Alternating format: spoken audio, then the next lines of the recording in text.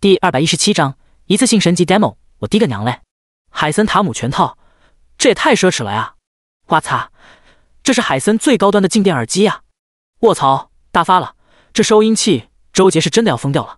他梦想中的录音室就已经是他所能够想象到的极限了，可眼前这个录音室里的设备，比他的梦想要高出去一座喜马拉雅山。这么说吧，全世界最顶尖的录音室用的啥设备？眼前这个录音室里用的只有更好更贵。别的不说，光是那个海森静电耳机就要十五万大米粒一套。这个录音室里有整整五套收音器，也就是录音室里面的麦克风前面那个防喷罩，牌子是老瑞的最顶级品牌，一个就要一千二百大米粒。边上的仓库里摆着整整四箱，这不是一次性的呀喂！最夸张的是，隔音玻璃用的竟然是五厘米厚的防弹玻璃，用不用这么夸张啊？要知道，就算是银行柜台用的防弹玻璃，也就是三厘米厚而已啊！奢侈。实在是太奢侈了，咋样？还缺点啥？赶紧说，我抓紧时间让人买回来，别耽误时间。孙平安不懂这玩意，所以只能询问周杰这个半吊子了。毕竟再过几天大秘密就要来了。现在《爱的供养》伴奏带还没弄出来呢，还缺一个专业的制作人。周杰想了想，回答道：“孙平安是铁定不会摆弄这些顶尖设备的。周杰会一点，却不敢上手。这玩意儿别说弄坏了，就算是碰一下。”他都感觉是罪过！孙平安正要给小舅打电话，一位中年男人推开录音室大门：“老板好，我是专业的音乐制作人，我叫李宗盛。”孙平安差点飙出海豚音。李宗盛是谁？上一世孙平安老爹老妈的偶像，也是孙平安老爹老妈的媒人。据说老爹老妈是在街上买李宗盛新出的专辑盗版磁带的时候认识的，因为相同的偶像有了交集，然后感情升温，步入婚姻殿堂，这才有了孙平安。如果说周杰伦的歌，陪伴了孙平安整个青年时期，那么李宗盛的歌就相当于孙平安的胎教，再加上儿歌了。啊，我叫李宗，没有盛。周杰开始了，胖哥又开始了。周杰这段时间被孙平安百教不改的执拗劲儿快要弄疯掉了。明明他纠正了无数次，他叫周杰，不叫周杰伦，可孙平安却铁了心的不改。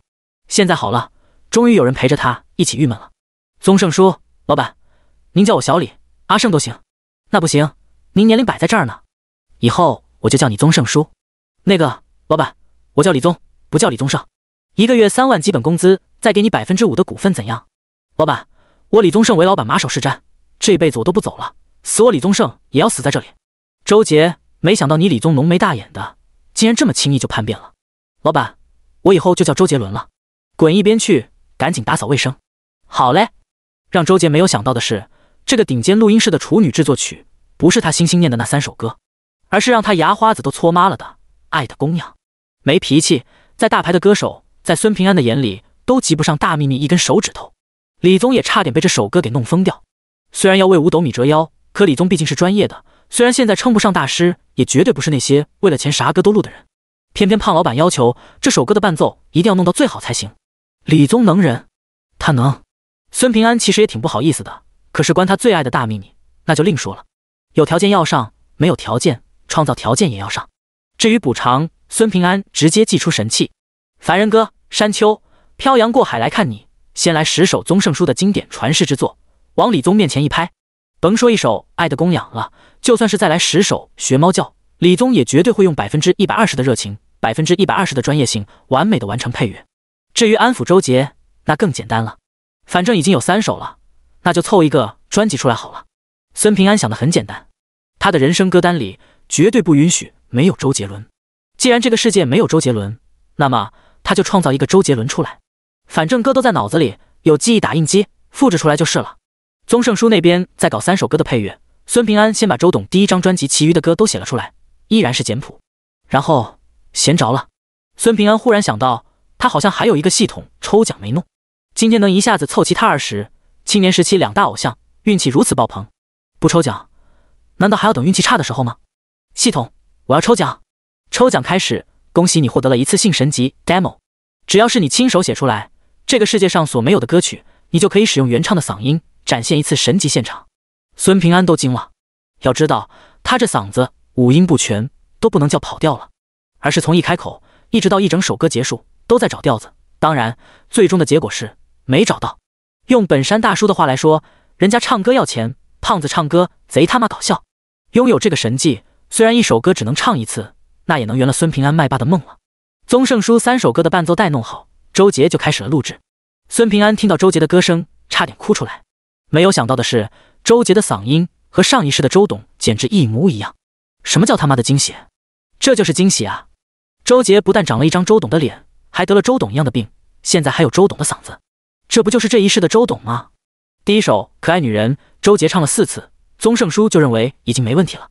虽然现在唱了四次，可这一个星期，周杰除了接受治疗、睡觉之外的时间，唱了没有一百遍，也有八十遍了。老板，您觉着咋样？宗盛书扭头询问孙平安。虽然孙平安不是专业人士，但他是金主啊，例行询问总是要有的，对吧？这该死的仪式感，孙平安却皱起了眉头。不行，他的咬字太清楚了，我希望他唱歌的时候有一种含糊不清的感觉。孙平安的话直接把两名专业人士给干懵了。第二百一十八章完整版可爱女人，胖哥咬字清楚，不是唱歌的基本要求吗？要是唱的含糊不清，听的人都不知道啥词儿。那孙平安瞥了周杰一眼，你要是吐字清楚，那还有什么特色可言？咱玩的就是吐字不清。周杰苦着脸道：“吐字不清，我也不会唱啊。”孙平安无奈起身道：“我给你打个样吧。”李宗和周杰都没当回事儿，在他们看来，吐字不清难道会好听？孙平安走进录音室。戴上耳机后，先嗷嗷叫了两嗓子。一次性神级 demo，一首歌就只能用一次，所以孙平安必须先给自己弄个人设出来，要不然他唱完一次，要是还有人让他唱第二次咋整？孙平安想了想，取出了鬼王神针，给自己脖子上来了两针。李宗和周杰都傻了，这是什么操作？唱歌之前先扎针？关键是这是扎自己啊，那么长的针，咔一下扎自己脖子上，不疼吗？这要是扎出个好歹可咋办？不疼。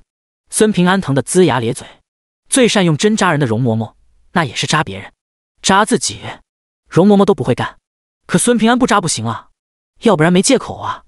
孙平安再次装模作样的清了清嗓子，对一窗之隔的李宗竖起了大拇指。李宗立刻按下了播放键和录音键，高级静电耳机当中开始播放伴奏音乐，前面三秒是留给歌手的准备时间，然后才会进音乐。孙平安就在第二秒的时候来了一声“嗯”，就这么简简单单的一个“嗯”。却给人一种眼前一亮的感觉。接着，充满节奏感的节拍响起。想要有直升机，想要你。周杰猛地瞪大了双眼，因为他无比惊骇的发现，孙平安的声音和他的声音竟然一模一样。不对，并不是一样的。周杰唱歌的时候咬字很清楚，每个字都能让你听得清清楚楚。可孙平安呢？虽然能听懂他唱的是什么，但咬字却没有那么清楚。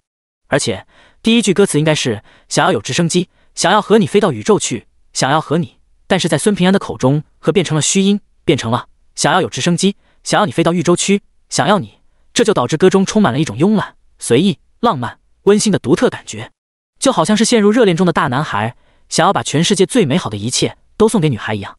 孙平安一首歌唱完，外面的李宗和周杰已经完全傻掉了。孙平安将鬼王神针收回，清了清嗓子，这才推门走了出来。胖胖哥，你也太掉了！周杰的震惊感还没过去呢。哎呦，不错哟！孙平安因为第一次完美演唱了偶像的歌曲，也有心思开了个玩笑。哎呦，不错哟！周杰把这个评价记住了，并且在未来的日子里成为了他的口头禅之一。老板，你为啥唱歌之前先给自己来两针啊？李宗这才将自己的疑惑询问了出来。这个嘛，我这人五音不全，唱歌跑调，但是不做示范不行啊，要不然这小子还不知道自己未来的路应该怎么走呢。所以我就用针灸术。对嗓子进行了一番改造，这属于一种比较极端的方式，用上一次不休息三五天都恢复不了。所以杰伦啊，好好唱啊！周杰差点哭出来，用力点头道：“是，胖哥，我一定不会辜负你的期望。”孙平安憨笑着，这小子真好忽悠啊！周六天气晴朗，万里无云，是个难得的好天气。随着大夏传统新年春节的临近，街面上变得越发热闹起来。北桥跨江大桥下结冰的河面上，经常可以看到放寒假的学生在上面嬉戏打闹。十里八乡的村民们驾马车、开拖拉机、骑摩托，乘坐往返于城乡之间的中巴车，纷纷涌入北桥。益达广场上，就算不是周末，都人头涌涌。赶上周末，那更是人山人海，一眼望去，乌压压的全都是人。放假对警察来说，节日越大，工作越忙。春节作为大夏传承数千年。一年中最盛大的节日，对警察来说不亚于一次世界级的盛会，除非你瘫医院了，动弹不得，否则每个人都必须上岗，而且绝大部分都是要上街巡逻或者站岗执勤的。北桥派出所除了上次工地事件中被捅伤的于峰之外，所有人全部上岗。孙平安穿着一身冬季警服，就站在益达广场正中间的半米小台上，盯着四面八方。最搞笑的是，孙平安的左边不远处是一个在国外街头很常见，在国内却很少见的人扮演的雕塑，右边不远处则是商场请来的专业小丑，将气球弄成各种形状逗孩子玩。再稍远一点是益达商场的卡通吉祥物，四个人都站在半米高的台子上，就跟南天门四大天王似的。所以孙平安这边人也不少。妈妈。这个胖胖在 cos 警察叔叔，有胆大的孩子甚至还爬上台子跟孙平安合影。孙平安脸上带着憨笑，还得伸手帮着扶一把，免得孩子掉下去摔着。一个最多也就六岁的小胖子走了过来，对着孙平安敬了个军礼。孙平安立刻收起憨笑，面对小胖子立正，敬了一个标准的军礼。这一幕也被不少人用照相机、小型摄影机、手机给记录了下来。嗡嗡，孙平安感受到了口袋里手机的震动，摘下手套。掏出手机看了一眼，是杨云打来的电话，不过现在正在执勤，没法接。孙平安只能挂断，快速发了一条信息：“我在益达广场执勤。”把手机揣进口袋，孙平安继续看着各个方向，罪恶神眼一直开着。这不，发现问题了！嘟，响亮的哨音吸引了周围群众的注意力。孙平安拿起脚边的大喇叭，一手指向人群中的一人：“你过来！”人群中一个身材普通、面容普通的年轻男子重重的叹息一声。仿佛认命一般，在众人瞩目下挤过人群，来到孙平安身前。胖警官好，我只是来逛街的，真没出手。这厮是个三只手，曾在北桥中医院大门口被孙平安逮住过。回去告诉你们老大，别搞事情，否则我一定上门拜访。孙平安蹲下身，认真的警告道：“这……”对方犹豫了。这样，我也不让你为难，让你老大来这里见我。你告诉他，他要是不来，我就开始抓人。我不管你们有没有出手，是否人赃并获。哪怕用一个怀疑的借口，我也可以把你们带回去拘留四十八小时。如果不想大年三十在我们派出所的临时羁押室度过，识相点，明白？年轻男子无奈点头道：“明白。”五分钟后，一辆黑色商务车停在了广场外的马路上。一位头发花白、六十岁上下、身材微胖、看上去特有气势的老人坐在轮椅上，被两个身材魁梧的壮汉推着向孙平安所站的位置而来。第二百一十九章：辣手胖判官，孙警官。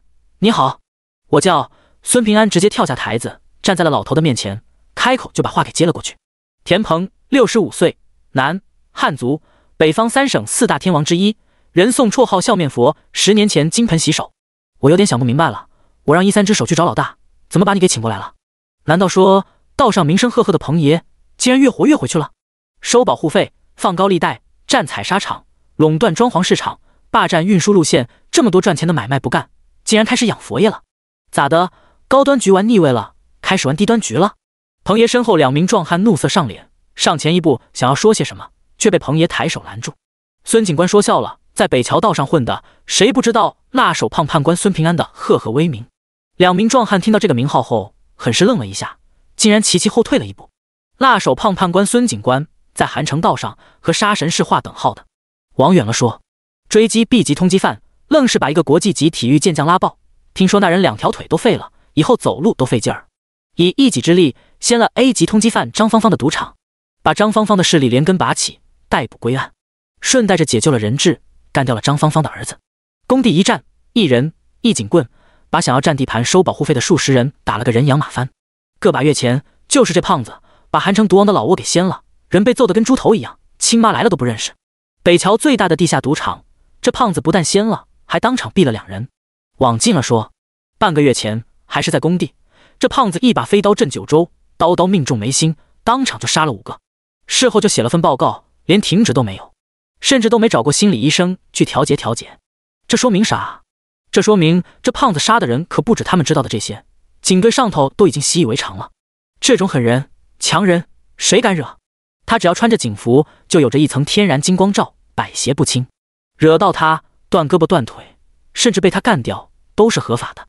俩壮汉也是道上有名号的狠人，可在孙平安面前屁都不是。俩人以前是只知道名号不知道人，现在算是把名号和人对上了，那叫一个后怕。刚才要不是田鹏拦了一把，他们真的动手，现在恐怕已经躺地上了不说，还要被安个袭警的罪名，进去待个十天半个月的。孙平安倒是愣了一下，他啥时候在道上有这外号了？听起来中二到掉渣呀！辣手判官就辣手判官，你中间加个胖子，直接把意境拉低了几十个百分点。本来挺威风霸气的绰号，愣是给人一种滑稽的感觉，就好像那些电影名加个字就直接毁了。比如说铁甲小宝，一代孩子的回忆。如果加个宋呢？铁甲宋小宝，美好的回忆崩塌了吧？比如说漫威大制作毒液，加个消，成了消毒液。估计毒液那老哥能修的找个马桶撞死。胖胖，熟悉的叫声在不远处响起。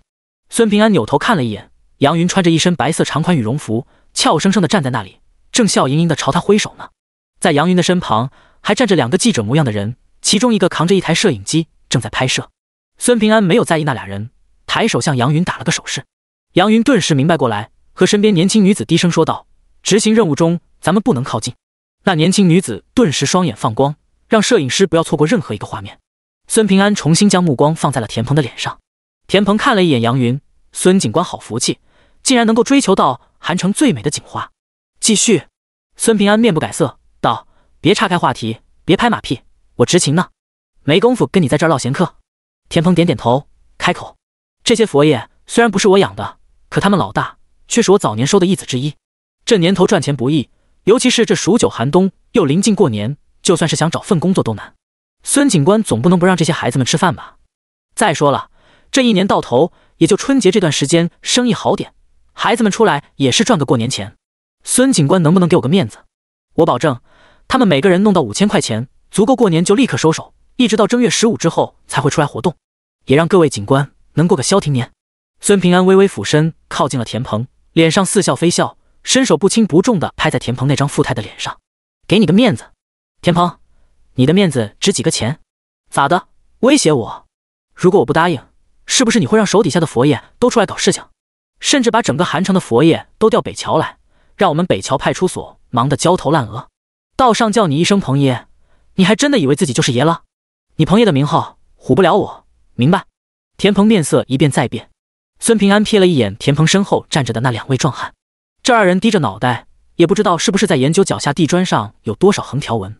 田鹏重重吐出一口气，认真的看着孙平安，严肃道：“不如孙警官和我赌一场。”孙平安嗤声道：“这是警察最讨厌的就是赌博。”打击赌博是我们的工作。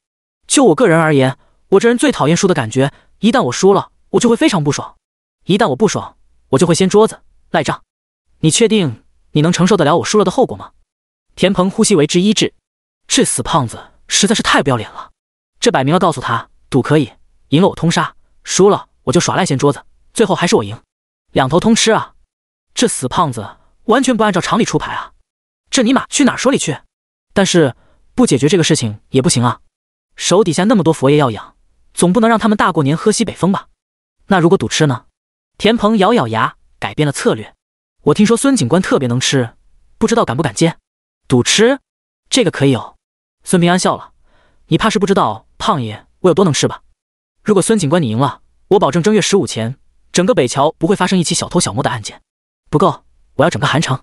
孙平安摇头道：“孙警官，不要得寸进尺。”我的忍耐也是有限度。田鹏话音未落，孙平安一直闪电般的点在了田鹏的侧颈部，而后脸上挂着憨笑，左手拿起木偶一般毫无反抗能力，甚至除了眨眼，连张开嘴都办不到的田鹏的右手，一只一只的将手套摘掉。接着，孙平安的右手抓住田鹏右手食指，猛地一拉，而后向上一掰。田鹏双眼圆瞪，这零下二十多度，冷汗唰一下就冒了出来，因为他的右手食指跟手背紧紧贴在了一起。接着。孙平安又抓住了中指，重复了刚才的动作。田鹏的身体不受控制的剧烈颤抖了起来。孙平安脸上依然挂着微笑，把田鹏的食指和中指复位，又在关节处揉捏了几下，这才细心的为田鹏戴上了手套。孙平安知道他这番举动都被不远处的摄影机拍摄了下来，不过他并不在意，拍去呗。他正愁最近立功太多，快要压不住升职了呢。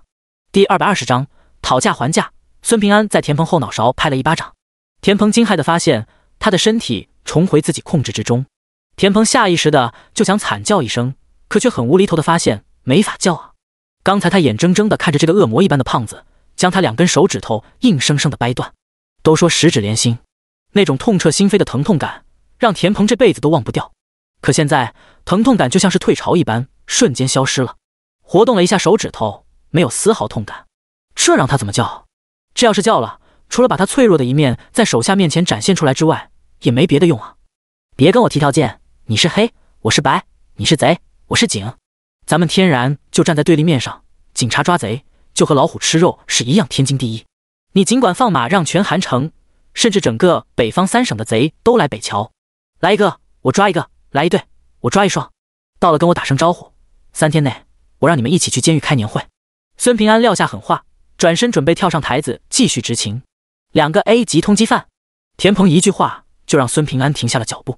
想清楚了再说，要不然别怪我再让你感受一下断手指的舒爽。田鹏脸上露出惊恐的神情，犹豫了一下，还是开了口：“只要你答应跟我赌，并且赢了我，我就提供给你两个 A 级通缉犯的信息，保证你能够抓到人，甚至我可以把那两个 A 级通缉犯送到你的面前。这个功劳足以抵消北桥过年这段时间发生盗窃案了吧？”孙平安摇摇头道：“如果我赢了你，从现在开始算起，一直到二月二龙抬头，不允许在北桥发生一起盗窃案。至于二月二之后，”咱们手上见真章，两个 A 级通缉犯，我要定了。孙平安确实可以不答应，对方也可以当做什么事情都没有发生过，然后一切又如同往年一样。过年期间，小偷小摸横行，贼是抓不完的。正所谓道高一尺，魔高一丈，警察再多，难道还能有贼多？只有千日做贼，哪有千日防贼的道理？抓到一个贼，拘留几天就得放人，但是警察呢，却依然要辛苦执勤抓贼，所以。孙平安要的是一个平安祥和的新年。孙平安看了一眼人头涌涌的广场，再加上一条：如果我赢了，你手下所有人都给我穿上反光服，帮我们警察维持秩序，抓贼，一天管二顿饭，一人一天一百块钱的辛苦费。如果我输了，我给你一百万，让你用来给手下一个交代。但是他们照样不能在这段时间出来盘活，怎么样？公平不？孙平安问道。田鹏没想到还有这种意外惊喜，这还有啥可犹豫的？成交。时间、地点，孙平安也没废话。中午十二点，益达广场四楼蜀香园，恭候胖爷大驾，不见不散。孙平安一言而定。田鹏那俩膀大腰圆的手下立刻推着田鹏融入到人群当中，不见了踪影。孙平安跳上台子继续执勤。杨云警察出身，自然知道执勤时的规矩，没有上来打扰，而是和那个女记者低声说着什么。十一点半，下班时间，有警察替班换下了孙平安。杨云这才开心雀跃的冲到了孙平安身旁，一把抱住了孙平安。老公，人家好想你啊！杨云将头埋在孙平安胸口，跟小猫一样用力的蹭了蹭。我昨晚还梦到你呢。孙平安搂着杨云笑道。对了，杨云这才想起来，还带了人过来。他们是我新经纪公司策划部的同事，他们是来记录我的日常的。这位是萧亚，这位是方云。你们好。孙平安笑着和对方握手。你怎么找经纪公司了？孙平安有些不解，因为有了经纪公司，虽然收入会被抽成，但省事很多啊。我只想好好拍戏，不想每天都被一些乱七八糟的事情缠着。杨云简单解释了一下，团队的力量自然要比个人的力量更强大。杨云不是个怕麻烦的人，他只是讨厌麻烦，而一个优秀的经纪公司能够帮他解决不少麻烦。我不求你赚多少钱，只要你开心就好。如果做的不开心，就停下来休息。如果有什么麻烦事情解决不了，告诉我，我来给你解决。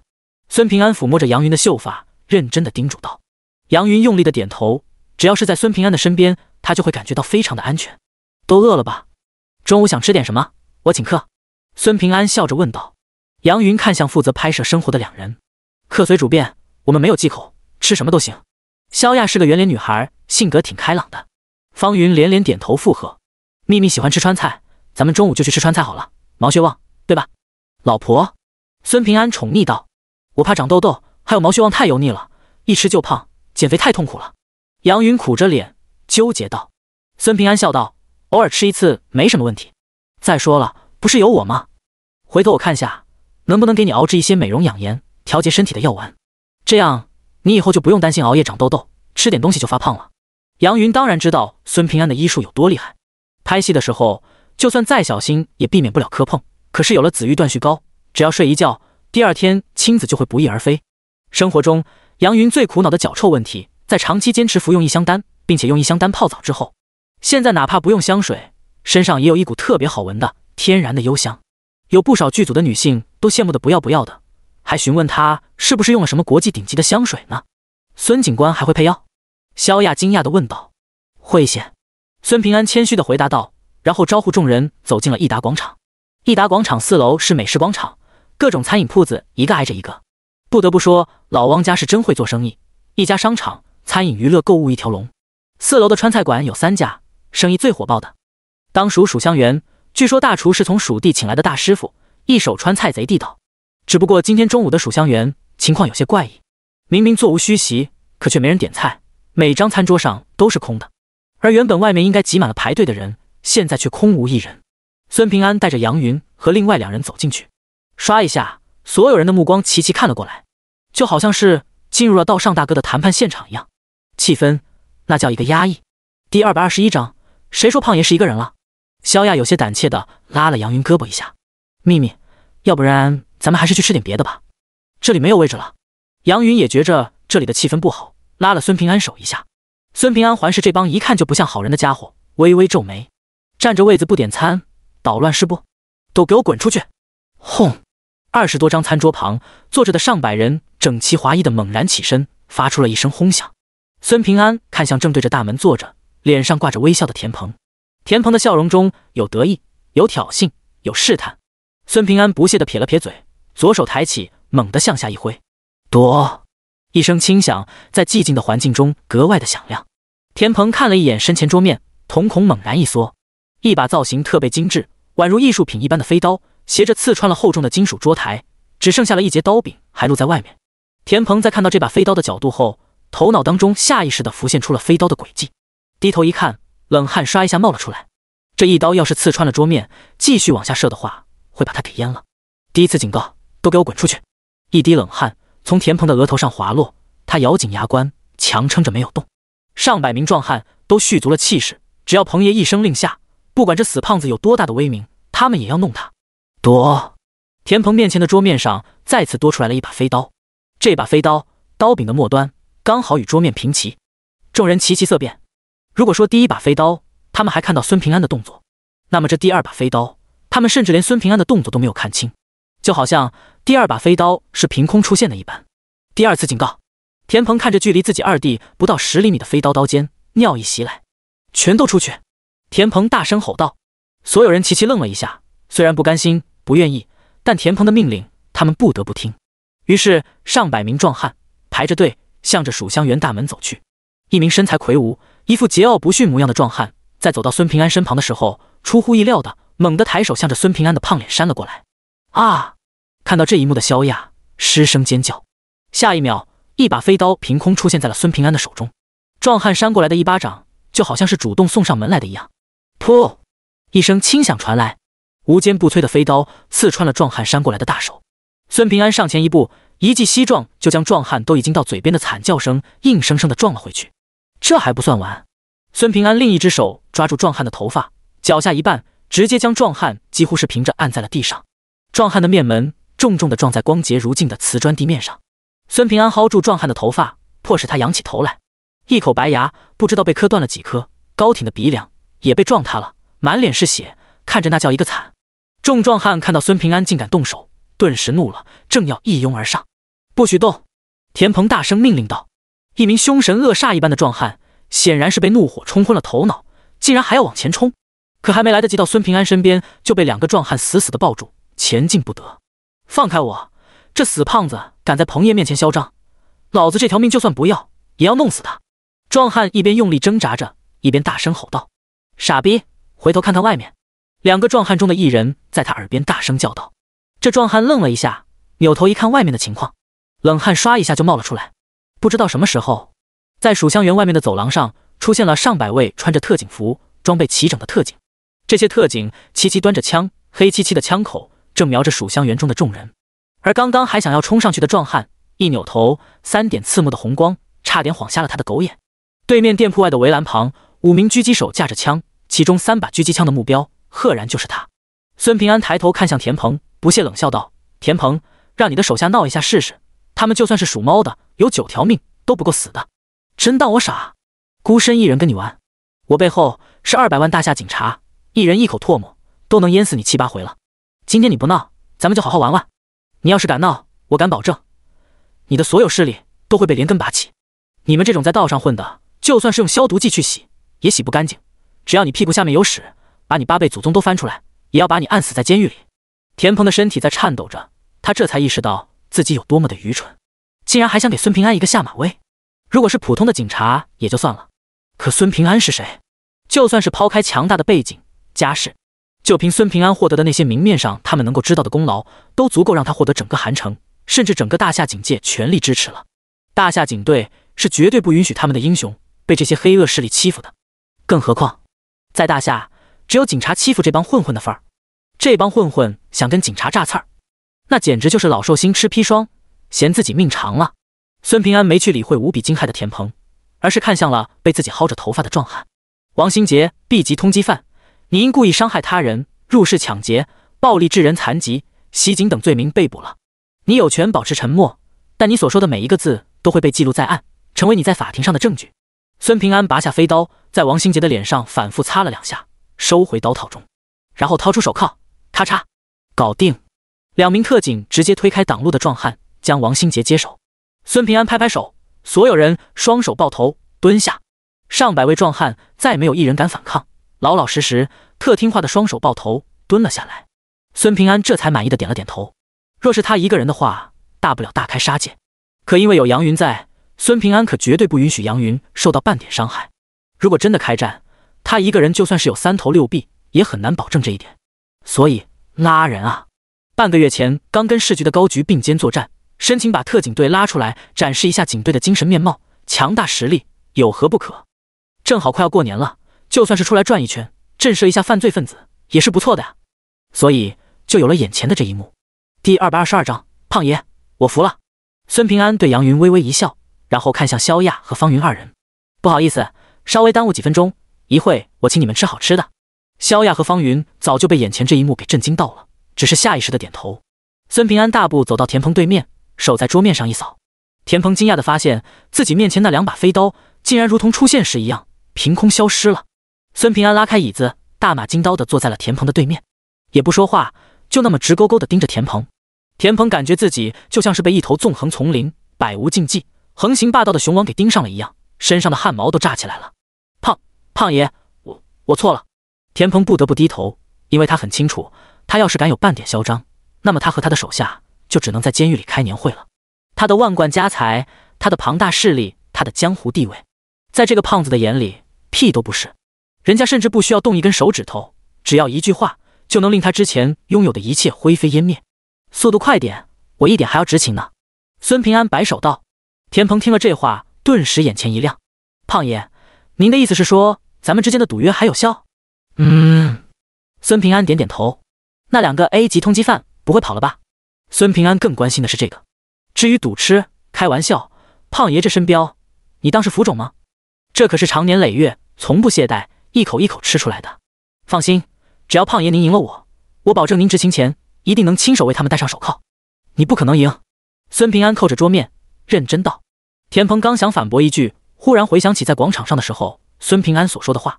这胖子最讨厌输，他输了的时候就是他掀桌子的时候，所以无论最终输赢如何，这俩 A 级通缉犯是必须要出现在孙平安面前的。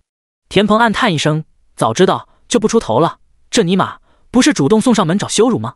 田鹏看了一眼蹲了一片的手下，道上大佬的气势猛然爆发出来，老子就算是输，也要一展雄风，让你个死胖子难受到崩溃。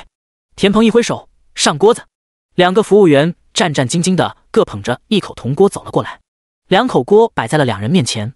孙平安探头看了一眼，直呼好家伙！锅里面如血般鲜红的汤汁翻滚着，一颗颗小灯笼形状的辣椒在翻滚的汤汁中起起伏伏，光是闻着都令人感觉到了那种极度的辣。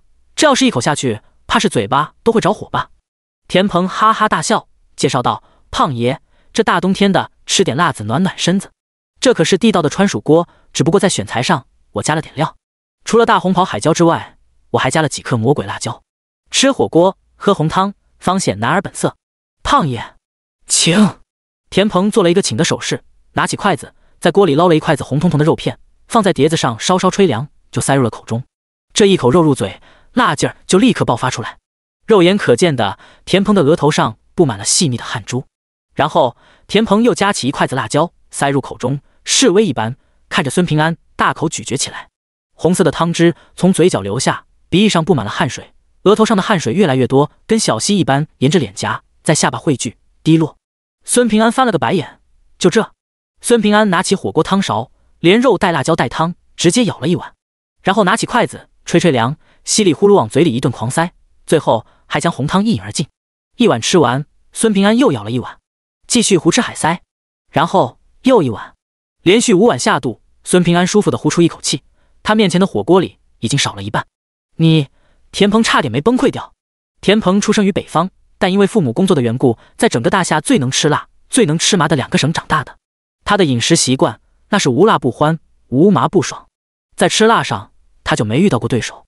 可是今天现在他却遇到了个比他更猛、更狠、更能吃辣的胖子。这一锅汤可是用川蜀最辣的大红袍海椒，配上在世界上都拥有鼎鼎大名的魔鬼辣椒，经过熬煮，令辣味完全释放，完全融入到汤中而成的。就算田鹏这种麻辣狂人，最多就能干下去三碗，可这胖子呢，一口气干掉了五碗，这也太恐怖了。田鹏看了一眼周围，他的手下们正眼巴巴地看着他呢。那份期待，那份鼓励，令他绝对不能轻易认输。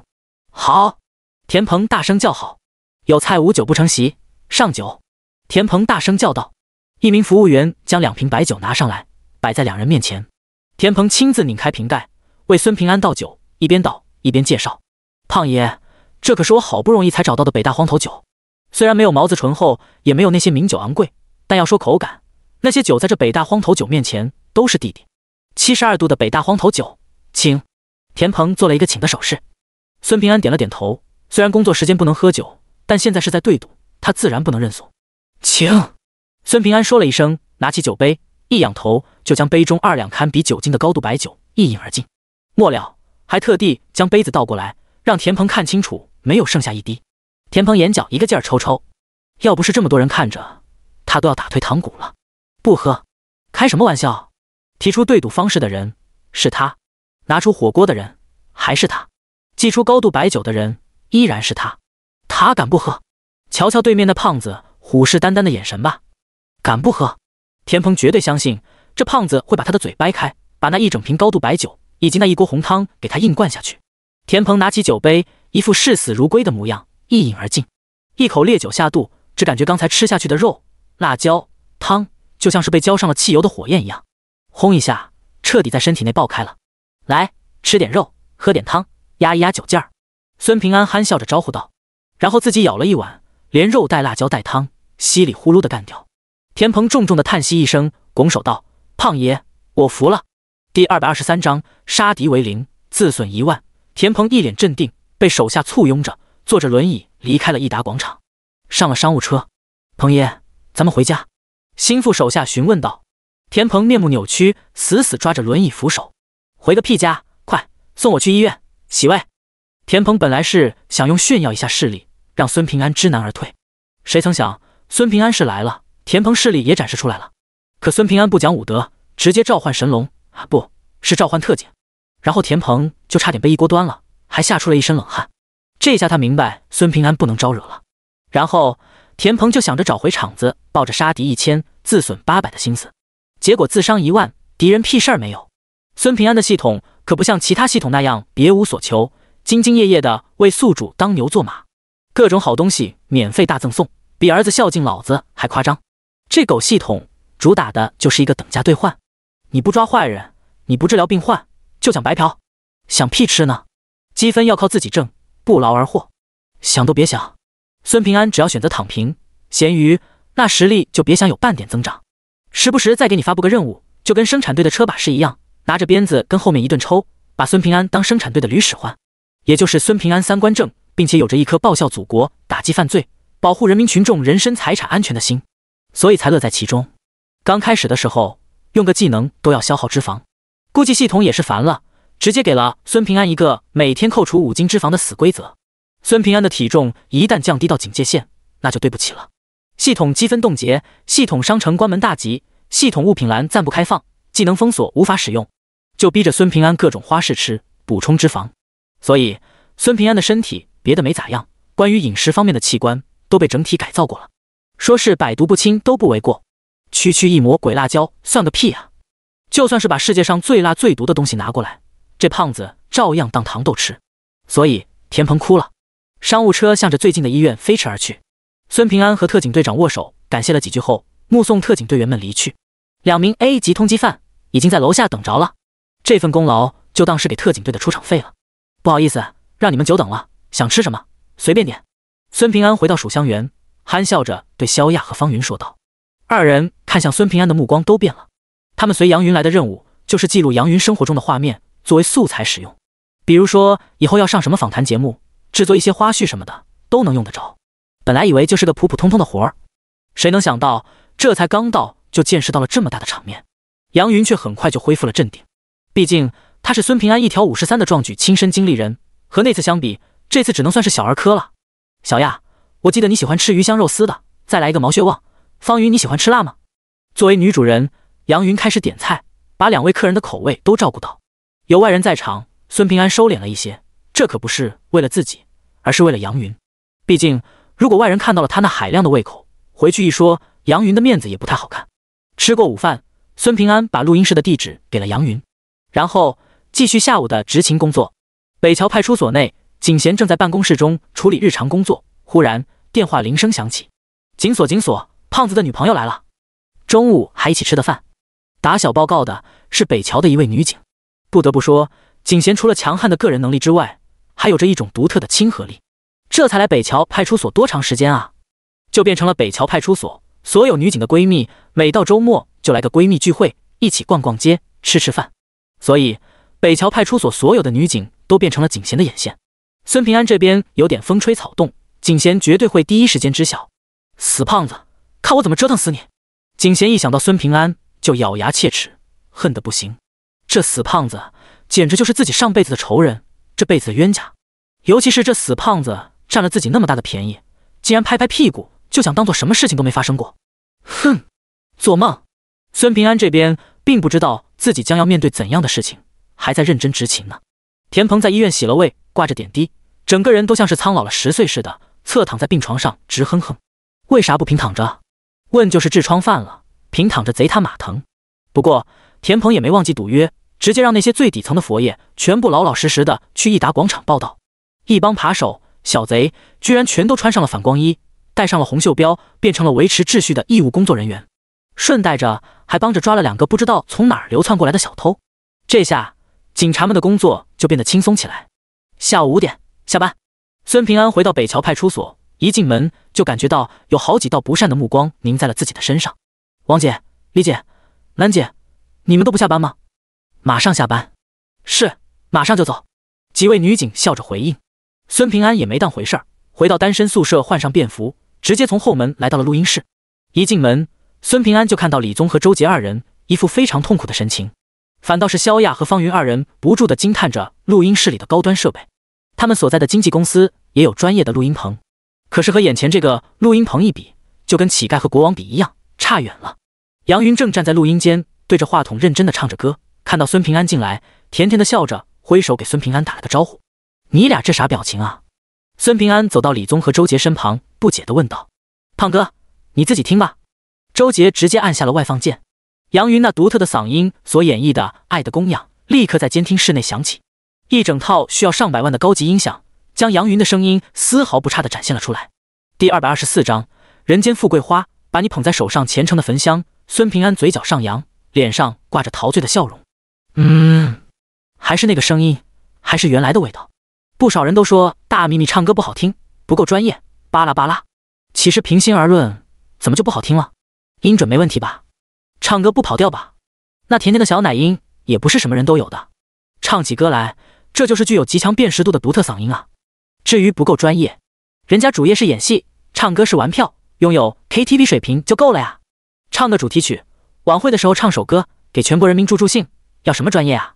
练习个两年半都能用一首英文歌霸占华语音乐榜第一。咱家大秘密唱几首歌咋了？又不靠着唱歌赚钱，又不打榜抢别人饭碗，也没碍着谁。爱听听不听，你切歌呗，又没有逼着你听，对吧？反正甭管别人是如何觉得，孙平安的感觉就俩字儿。好听，孙平安也不知道从哪儿弄了闪光沙锤、应援闪光棒，给萧亚、方云、李宗、周杰一人发了几个，把监听室的灯光调暗，随着音乐开始挥舞。嗯，这录音棚从一开始就是按照多功能来的，KTV 功能是孙平安特意要求的。李宗和周杰对视一眼，咋办？凉拌，被迫营业嘛。恰饭不丢人。杨云也越唱越投入，俗称唱嗨了。一曲结束，孙平安巴掌都拍红了，叫好声响彻监听室。咋样？好听不？孙平安还不忘问问专业人士。好听。李宗硬着头皮违心称赞。周杰和孙平安比较熟，抱着挨揍的悲壮心理补了一句：好听，就是以后还是别唱了。孙平安也没生气，大秘密唱歌跟普通的歌手比都差一些，更不要说跟这两位天王级别的人物比了。放心，就是玩玩而已，没想在音乐这条路上发展。孙平安笑着解释道。李宗和周杰一听这话，立马就跟打了鸡血似的，精神起来了。其实老板娘的嗓音非常具有辨识度，只不过没有适合这个嗓音的歌曲。如果经过一段时间的专业培训，再多练习，再有几首好歌，走这条路也是没问题的。我觉着胖嫂的各项条件，如果唱歌的话，太屈才了。大荧幕才是最能发挥胖嫂实力的地方。谁说专业的音乐人就是直性子的？这马屁拍的老专业了。走，吃大餐去，我请。孙平安舒坦了，一挥胖手，吃饭去。六个人出门，打了两辆出租车，直奔韩城最适合情侣约会的情缘西餐厅。一号报告，目标已经登车。二号报告，目标驶入劳动大街。三号报告，目标进入世纪大道。四号报告，目标在情缘西餐厅下车，已经进入情缘西餐厅。情缘西餐厅不是朋友聚会的好地方，却是情侣约会的不错选择。孙平安让服务员直接开了三桌，他自然要和杨云一桌，萧亚和方云一桌，周杰和李宗一桌。其实一开始，孙平安就看出来萧亚和方云是一对了，两人的眼神交流，明摆着就是一对小情侣，只有瞎子才看不见。不过李宗和周杰二人就崩溃了，放眼全场，就他们这一桌是俩大老爷们，其他桌边坐着的全都是一对一对的。其他情侣看过来的目光，让俩大老爷们如芒刺背，如坐针毡。他俩倒是想走来着。可胖子请客，他俩也不能扫兴啊，所以话在口中，如鲠在喉，说也不是，不说也不是，那就硬着头皮甩开膀子吃吧。只要沉浸于美食之中，就能够忽略掉周围那些诧异的目光了。烛光晚餐已经点餐了，不过还没上来。孙平安和杨云手牵着手，含情脉脉地看着对方，柔声细语地向对方倾诉着思念之情。胖胖，我这次只有三天假期，张导那边已经准备的差不多了，我回去就准备开始进组拍摄了。这次要拍摄三个月呢，又要有三个月看不到你了，我想你了咋办？你出不来，我可以去探班啊。这次我让汪俊聪再弄一车榴莲怎么样？你还说榴莲？上次你探班弄那么多的榴莲，剧组整整三天都是榴莲味，而且那榴莲实在是太贵了，就别让汪俊聪破费了。探班一般就是买一些零食、饮料之类的，毕竟要送整个剧组所有工作人员嘛。如果送巧克力，那都算是相当奢侈了。好好好，我知道了。下次去探班，我就买一些普通的饮料零食。如果所里事儿不多，我就一个星期去一趟；如果事儿忙，就不知道了。杨云也是警察出身，自然知道警察忙起来是什么样，所以特别理解孙平安。而且杨云父亲就是警察，所以他从未想过让孙平安辞去警察的工作，改行做别的。虽然孙平安的医术已经足以在任何一家全国级的大型医院当上主任了。零零零，餐厅门开，门上挂着的风铃发出了清脆的声音。孙平安和杨云根本就没去理会，人家正常营业的餐厅，饭点了进出个人不是很正常的事情吗？可餐厅中的其他人就不同了，仅仅是下意识的看了一眼，就挪不开眼睛了。然后就是一片男人倒吸凉气的声音，一半是被惊艳到了，另外一半被吃醋的女友掐了呗。杨云抬头看了一眼，也吃惊不小。孙平安看到杨云的反应，愣了一下，转身向大门方向看去。好家伙，好大一个好家伙，竟然是景贤。今晚的景贤显然经过了精心打扮，小低胸上衣略带一点点束身效果，将她那波涛汹涌以及纤细的小蛮腰完全展现了出来。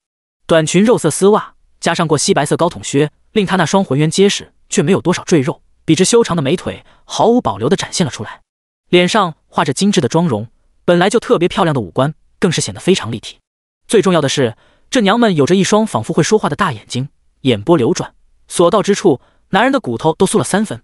再加上一件雪白的貂绒外套，显得是那么的高贵。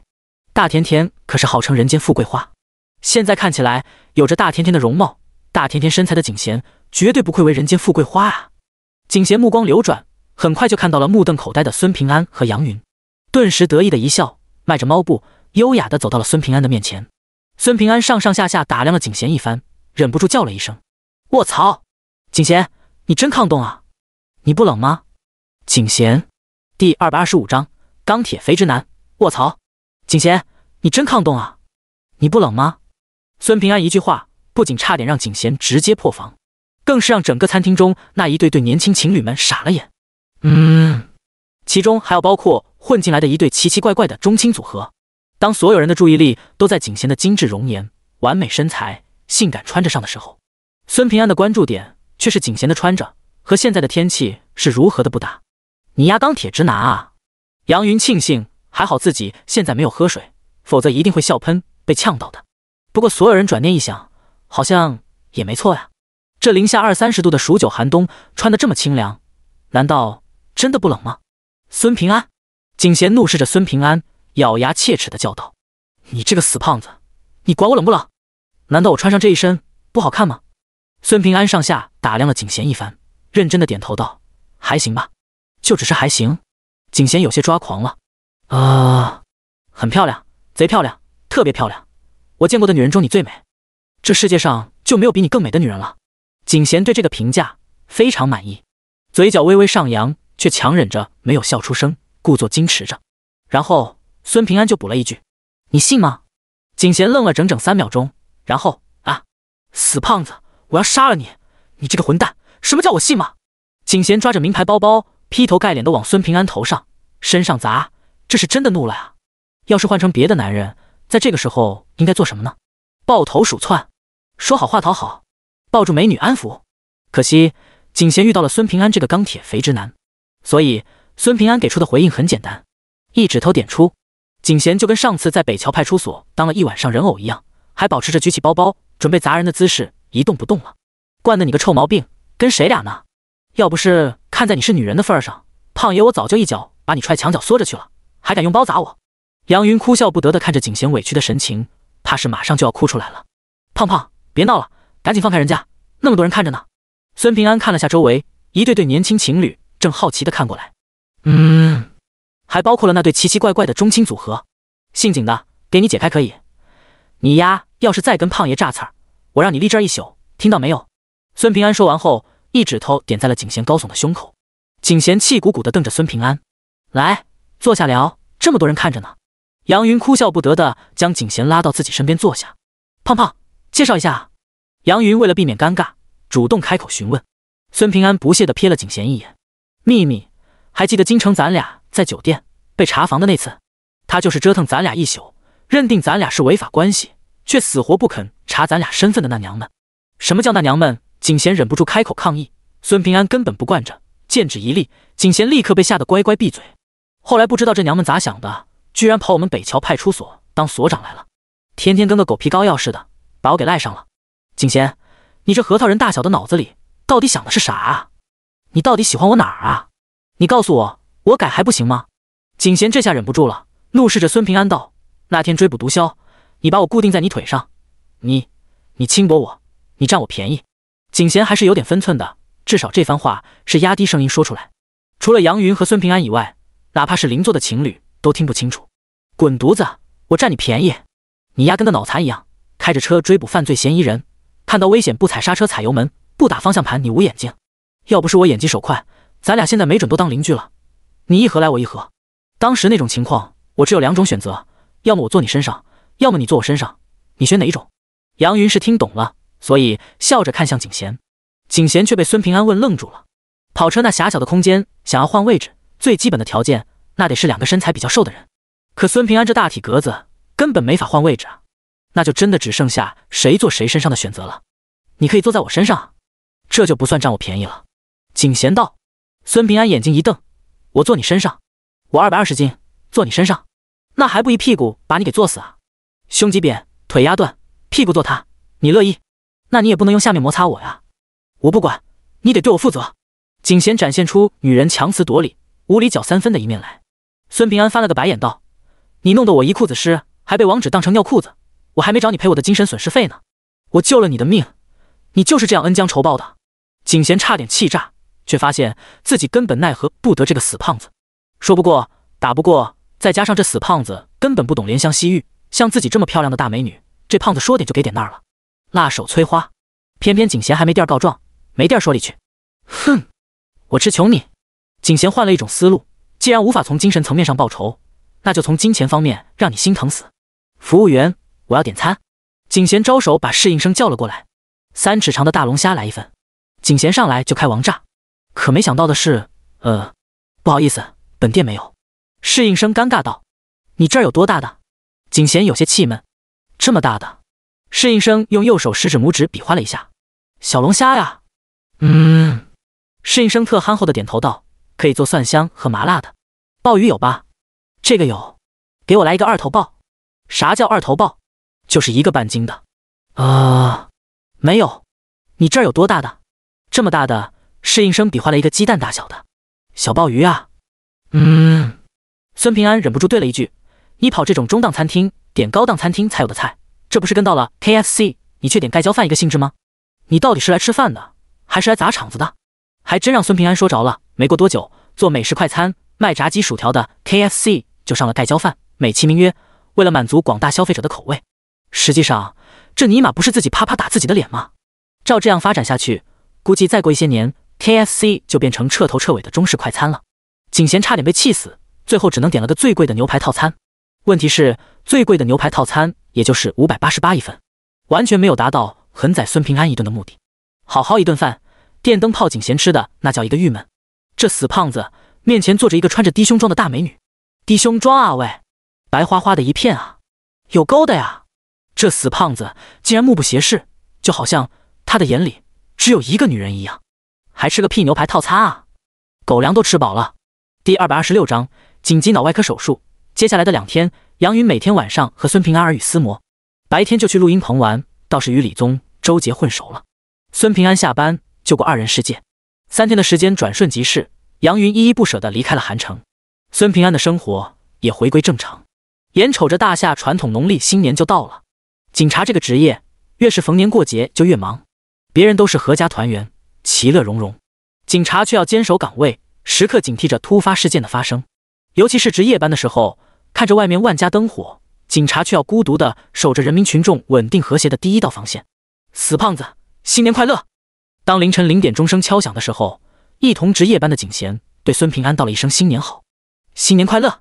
孙平安站在派出所大门口，看着天空中炸起的朵朵烟花。景贤与孙平安并肩站着，眺望着美丽的夜空。在这一刻，他感觉自己和孙平安的距离拉近了。零零零，大厅中的电话响起。孙平安转身，快步冲了进去，不等电话铃声响第三声，就把电话接了起来。希望警员，烟花炸伤，立刻到。孙平安挂断电话，抓起警帽戴好，跟景贤打了个招呼，带上一名值班民警，快步冲了出去。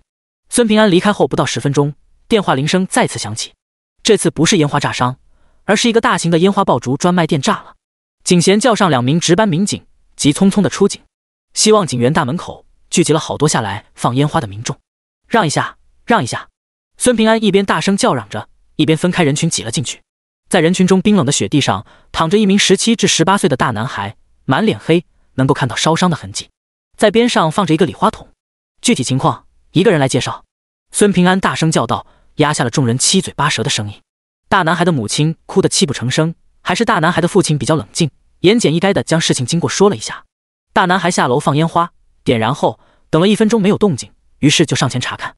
探头看里面的情况，结果就在这时，礼花喷了出来，正正的命中了大男孩的额头，并且在男孩的脸上炸开。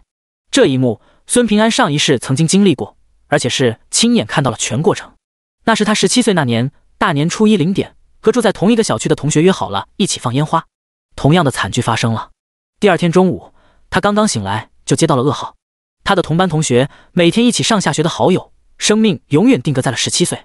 送葬的时候，孙平安也去了。白发人送黑发人的场面，好友父母撕心裂肺的哭嚎声，孙平安真的是一辈子都无法忘记。四十岁出头的一对中年夫妇，几乎是一夜白头。那个年代，因为计划生育政策，家家基本上都是只有一个孩子，一个家庭永远不再完整。真人真事，亲身经历。孙平安深呼吸了一口气，上一世他无能为力，这一世他要竭尽所能。孙平安快速进行了检查，叫救护车了吗？孙平安大声的问道。已经叫了。说是十五分钟就到，大男孩的父亲立刻回应道：“来不及了，来几个人一起搭把手，把人放警车后排。”孙平安眉头紧皱，大声命令道：“立刻上来几个成年男人，一起帮忙将人抬起，听从孙平安的指挥，将伤者放入到警车中。家属自己坐车去市医。”孙平安撂下一句话：“上车。”让一同出警的民警蹲在中间位置，固定伤者的身体。警车轮胎和地面发出了刺耳的摩擦声，向着市一一飞驰而去。多米尼克的车技，那是能在冰面上飞速行驶的，所以路上虽然有积雪，但是对孙平安来说根本就不叫事儿。在保证安全驾驶的前提下，警车一路闯红灯，原本至少需要二十分钟的车程，只用了不到七分钟就开到了。伤者头部受到重创，颅内出血，已经开始压迫脑神经，必须马上动手术。孙平安在路上。就已经通知了医院，一下车就对等候在急诊门口的医护人员大声说道：“脑外科值班主任正在做手术，我们已经通知了脑外科的高副主任，他正在赶来的路上，还需要十分钟的时间，来不及了，马上送进手术室。可是还要对伤者进行脑部 CT 确定位置。”一名医生叫道：“这些都是接收急救病人的正规流程，不确定受伤位置怎么动手术？可是现在真的是在与死神抢时间，晚一秒钟恐怕就救不回来了。”不用检查了，我来主刀，马上安排手术室。孙平安没有丝毫犹豫，立刻大声说道：“你，医护人员都傻了，你一个警察要做脑外科手术？开什么玩笑？我有行医资格证，也有脑外科手术资格，马上安排手术室，出了任何问题，我来负责。”孙平安大声叫道。医护人员没有动，虽然孙平安说他会负全责，但这里是市医，程序不对，有任何意外，那就是医疗事故，医院也要跟着负责的。万一碰到医闹什么的，那就是大麻烦。孙平安直接掏出手机，拨打了京城总医院脑外科专家的电话，简单把事情说明，然后把手机塞给了晚上的值班院长。值班院长听到对面的自我介绍以及担保，立刻做出了决定，马上准备手术室。这位警官主刀，派一个辅助手术小组进去。五分钟后，手术室准备就绪。大男孩已经被皮刮毛完成，手术开始。大男孩的父母和市医医脑外科副主任几乎同时到来。高副主任安抚了二人，进入准备室，做好了手术前的消毒工作，这才进入了手术室中。我是市医医脑外科副主任高鑫，我来接手。伤者情况如何？高鑫先确定所有人都知道他进来了，这才轻声询问孙平安道：“这是防止太过突兀的出现，惊吓到正在做手术的主刀。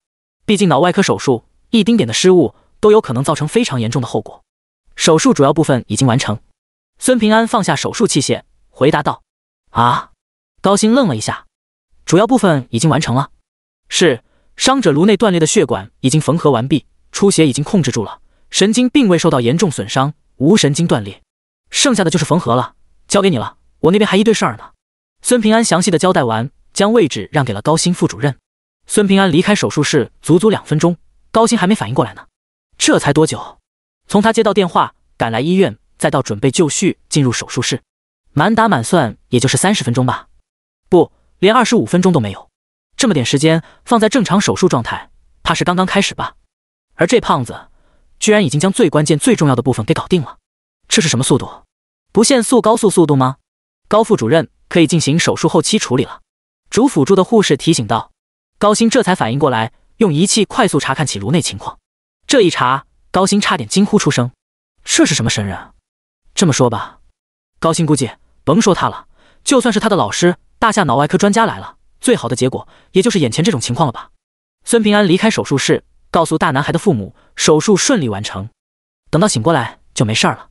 走出医院大门，孙平安看着烟花漫天的夜空，重重的吐出一口气。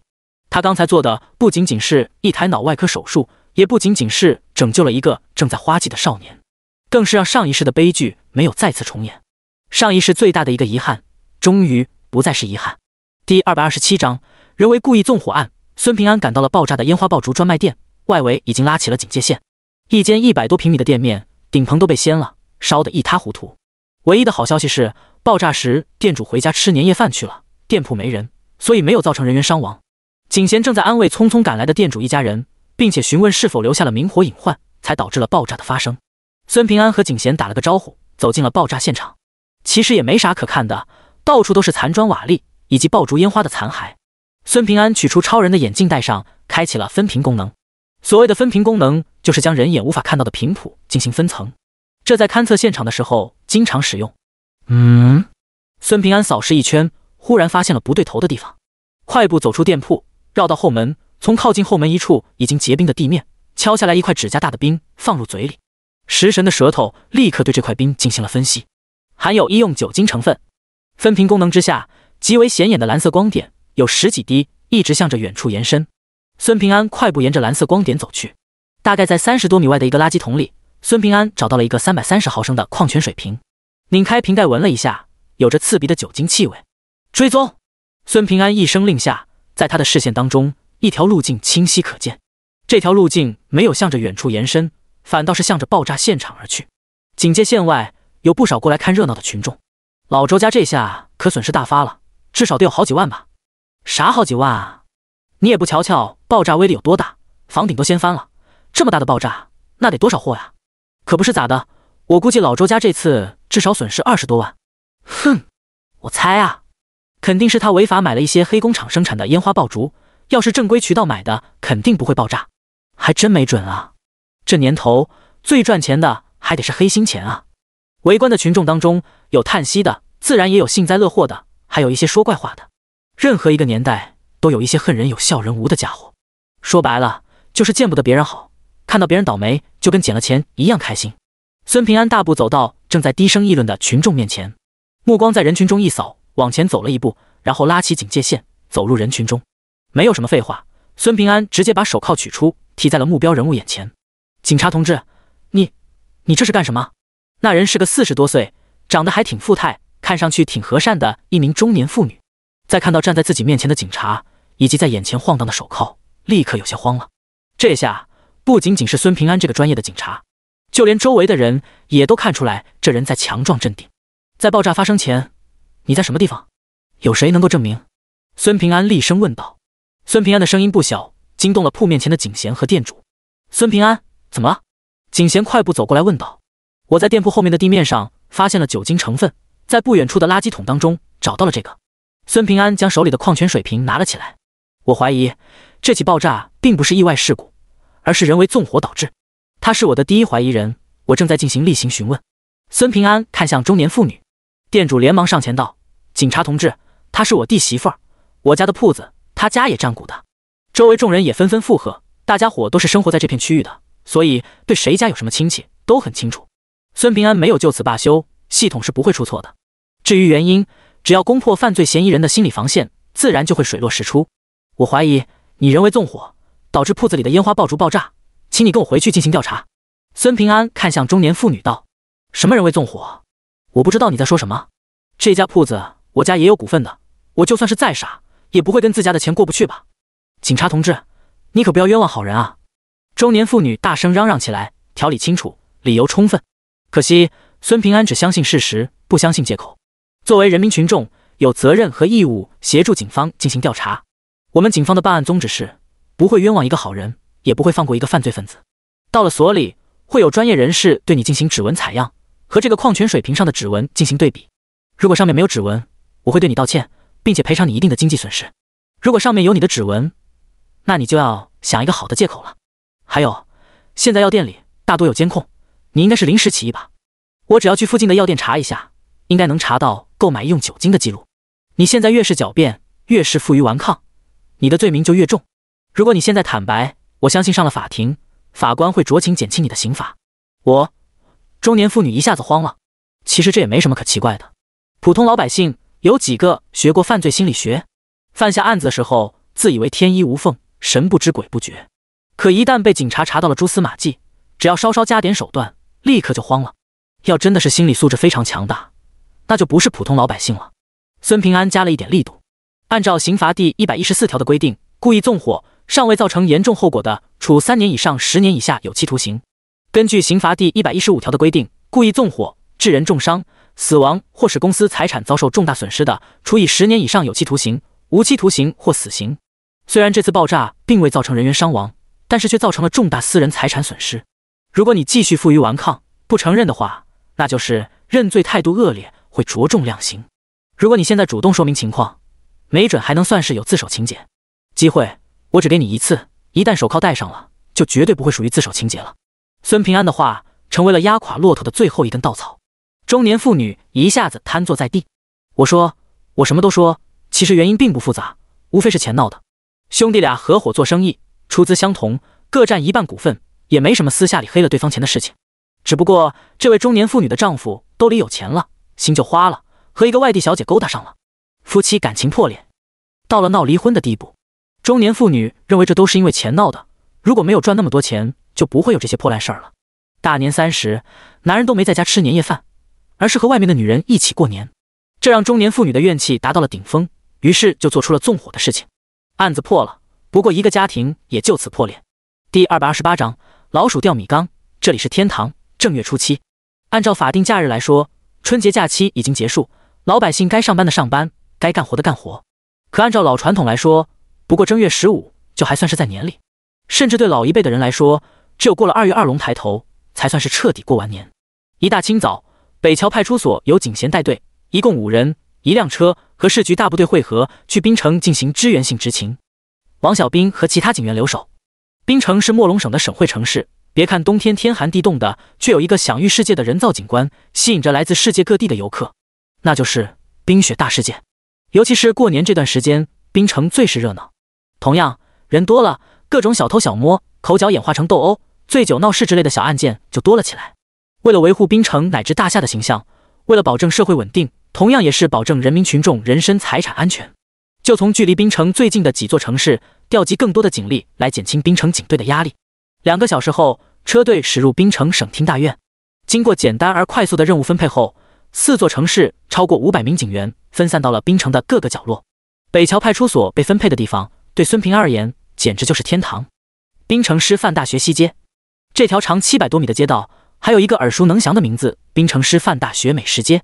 除了东北各种特色美食之外，天南海北、国内国外的各种美食那是应有尽有。进了这条街，就算是厌食症患者。也得吃个肚子溜圆，打着饱嗝离开。除了小吃外，还有不少知名餐饮店铺，比如说主打老毛风情的小莫餐厅，主打法餐的高炉餐厅。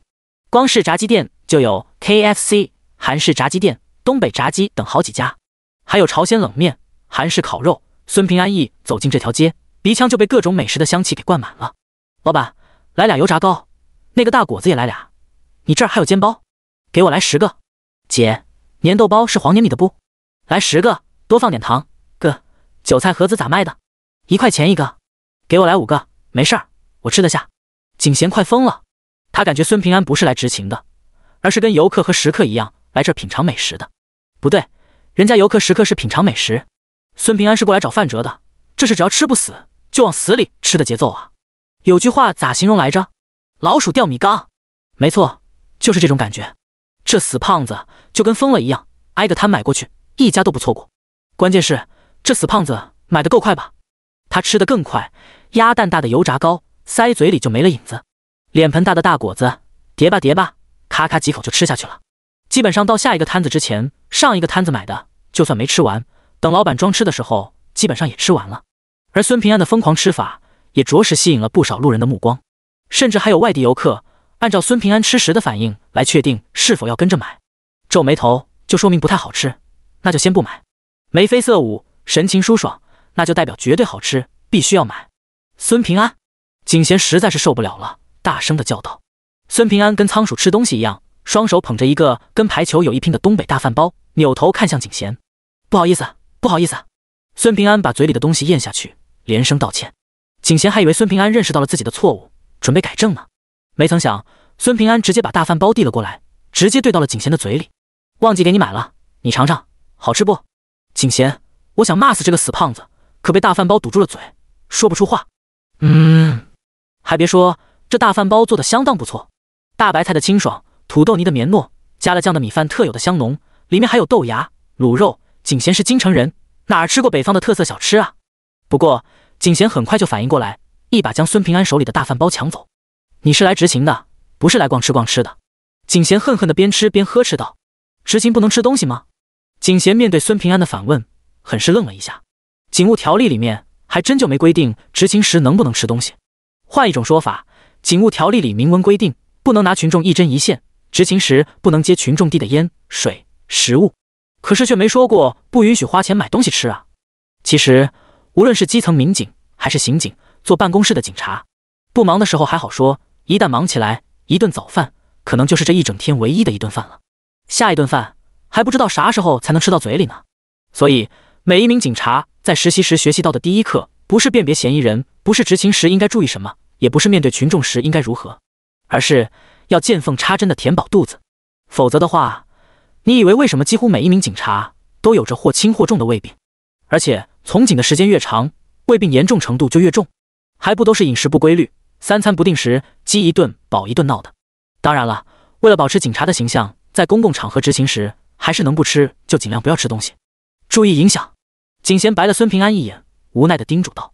孙平安憨笑着点头道：“我知道。”景贤还没松一口气，就看到孙平安三步并两步跑到一个摊子前：“老板，锅包肉咋卖的？”景贤，感情我白说了呗。景贤无奈的跟了上去。锅包肉，他也喜欢啊。与星号、星号与百分号四个金发碧眼的年轻人把景贤给拦住了。然后上来就是一通鸟语，还带着比划，生怕景贤听不懂。景贤很快反应过来，看有四 B 科印格历史，艾特井号井号人民币百分号，好吧，显然是鸡同鸭讲，双方语言不通。这是什么语啊？好像是异语吧？不是异语，我记得异语里面没有打秃噜的，应该是毛语吧？大夏人最喜欢看热闹，只不过啥忙都帮不上。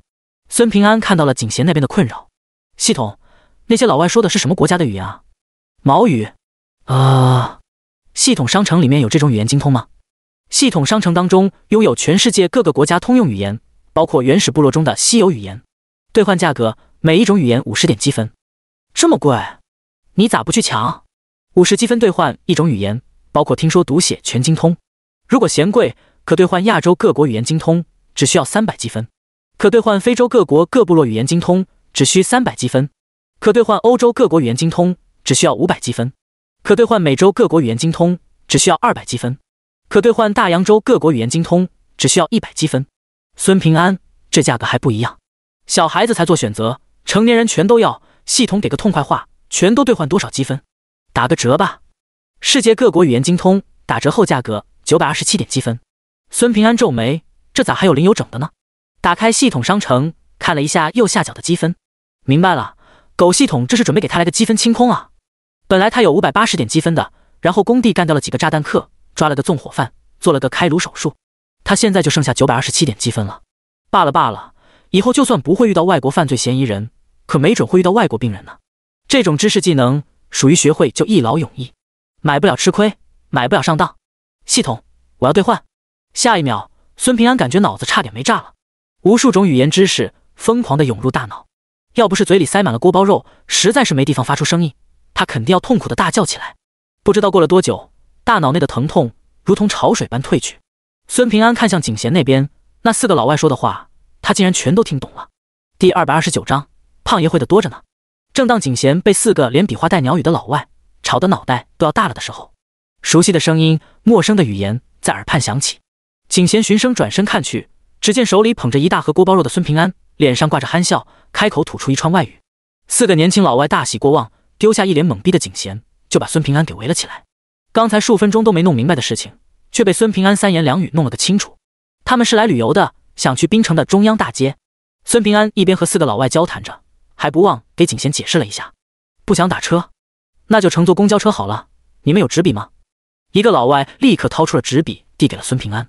孙平安拿起笔，根本就没有丝毫犹豫，直接用毛语在纸上写下了需要乘坐几路公交车，然后在什么地方下车。转乘多少路公交车，坐几站能够到达中央大街？写完后，还在上面用汉语进行了标注，这是给公交车上的售票员和司机看的，避免这四个老外坐过站。这四个老外之前已经问了一路了，却连个能听懂他们语言的人都找不到。现在问题解决了，那真是千恩万谢，感激不尽。临走时，还给了孙平安一个大大的拥抱，并且竖起了大拇指。孙平安挥手告别，送走四个老外后，夹起一块锅包肉，美美的吃了起来。你会毛语？景贤好奇地问道：“大夏国内主修的外语基本上都是英语，其他国家的语言都属于小类别。高中前学习的人并不多，只有专业的外国语大学才会主修。我会的多了，区区一个毛语算啥？”孙平安很臭屁的说道。景贤翻了个白眼道：“说你胖你还喘呢，还区区一个毛语？难道你还会意语、西语、法语？我会啊。”孙平安点头道：“吹牛。”景贤话音刚落，一对中年老外就走了过来。叽里呱啦的，不知道说着什么。艾特井号人民币井号星号与百分号。孙平安立刻开口回了一句：“景贤，这好像不是毛语吧？”孙平安就像是知道景贤想的是啥一样，介绍了一下，这俩人是高卢国的，说的是法语，他们想知道哪里能吃到家乡菜。孙平安对景贤介绍完，又对俩高卢人叽里呱啦的说了起来，几句话搞定。你还真会啊！景贤觉着这死胖子除了驾驶技术厉害、身手厉害、破案厉害之外，咋连外语都那么厉害呢？这简直就是一个宝藏胖子。总觉着已经了解了这死胖子的一切，却会发觉了解到的不过是这胖子一身本事的冰山一角。什么样的男人最吸引女人？帅气、气质好、身体强健，那只是外在。女人也许会被外在所吸引，但真正对一个男人产生兴趣，却是因为这个男人内里的灵魂。孙平安看到景贤那好似饥饿的人看到一顿大餐的眼神，禁不住打了个哆嗦，叼着筷子，抬手就给了景贤一个脑瓜崩。啊！景贤痛呼一声，双手捂着脑门。死胖子，你是不是想死？景贤怒视着孙平安，如同发怒的磁暴。孙平安松了一口气，拿下筷子道：“呼，还好还好，你刚才的眼神就像是想要把我生吞活剥了一样。现在的你才是正常的景贤。我警告你，虽然你胖爷我英俊潇洒、风流倜傥、玉树临风、车见车载、花见花开，但是我已经有老婆了，而且你胖爷我是一个非常专一的男人。”你不要觊觎我的美色与白花花、肥腻腻的身体，我是你得不到的男人，明白？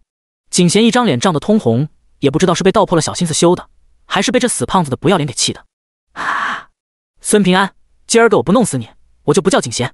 景贤张牙舞爪的向孙平安扑了过来，孙平安任凭景贤给自己一顿抓挠掐踹，想屁吃呢？胖爷啥时候惯过这娘们的臭毛病？一手小擒拿，把景贤的身体扭转过来，而后朝着景贤的翘臀就是一脚。再炸刺儿，我就给你钉这儿，不信试试。孙平安一句威胁，就让母老虎变成了小花猫。景贤冷静下来，才想起来想要奢求这死胖子怜香惜玉，那简直就是想屁吃呢。景贤气鼓鼓的开启了巡逻模式。不得不说，正经起来的孙平安还是相当尽职尽责的。当然，前提是在这条美食街上得让这死胖子吃饱才行。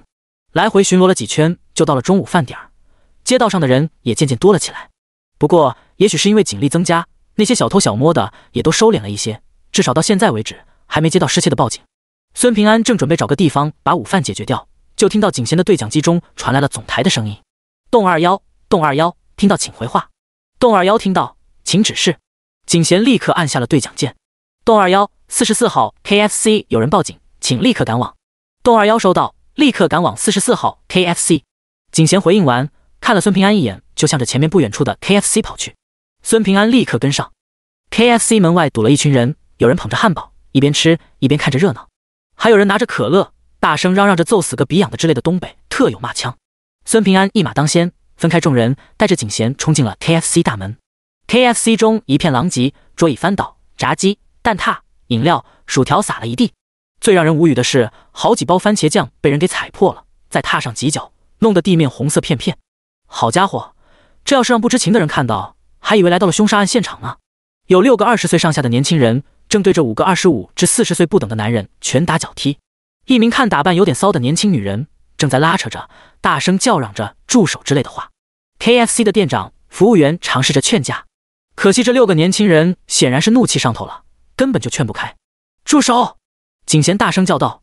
可惜那六个年轻人愣是一点停手的意思都没有。景贤正要上去亮明身份，把人拉开。结果刚上前一步，就被一只胖手拽住了胳膊。你，景贤一扭头，就看到孙平安铁青的脸色，顿时愣住了。这胖子怎么怒了？第二百三十章秉公执法。叮，任务发布。秉公执法。作为一名警察，一定要保持公正，掌握尺度，秉公执法。任务完成奖励：抽奖次数两次，积分一百分。任务失败惩罚：随机收回五个，已获得技能。系统的声音在孙平安脑海中响起。可孙平安却根本没有理会系统。你把所有服务员和其他无关人等都带出去。孙平安用的是命令的口吻，话语当中充满了不容置疑。景贤愣了一下，认识孙平安这么久，他还是第一次见到孙平安如此严肃。没有多做犹豫，景贤立刻将 KFC 中的无关人等全都叫了出去。孙平安把 KFC 的店长叫到一旁，店里是不是有监控？店长点头道：“有，整个打架的过程都录下来了。带我过去看一下监控。”孙平安道：“由于有保密原则，所以外人是无法看到监控的。当然，这一点对警察无效。警察属于执法人员，看监控是职权范围。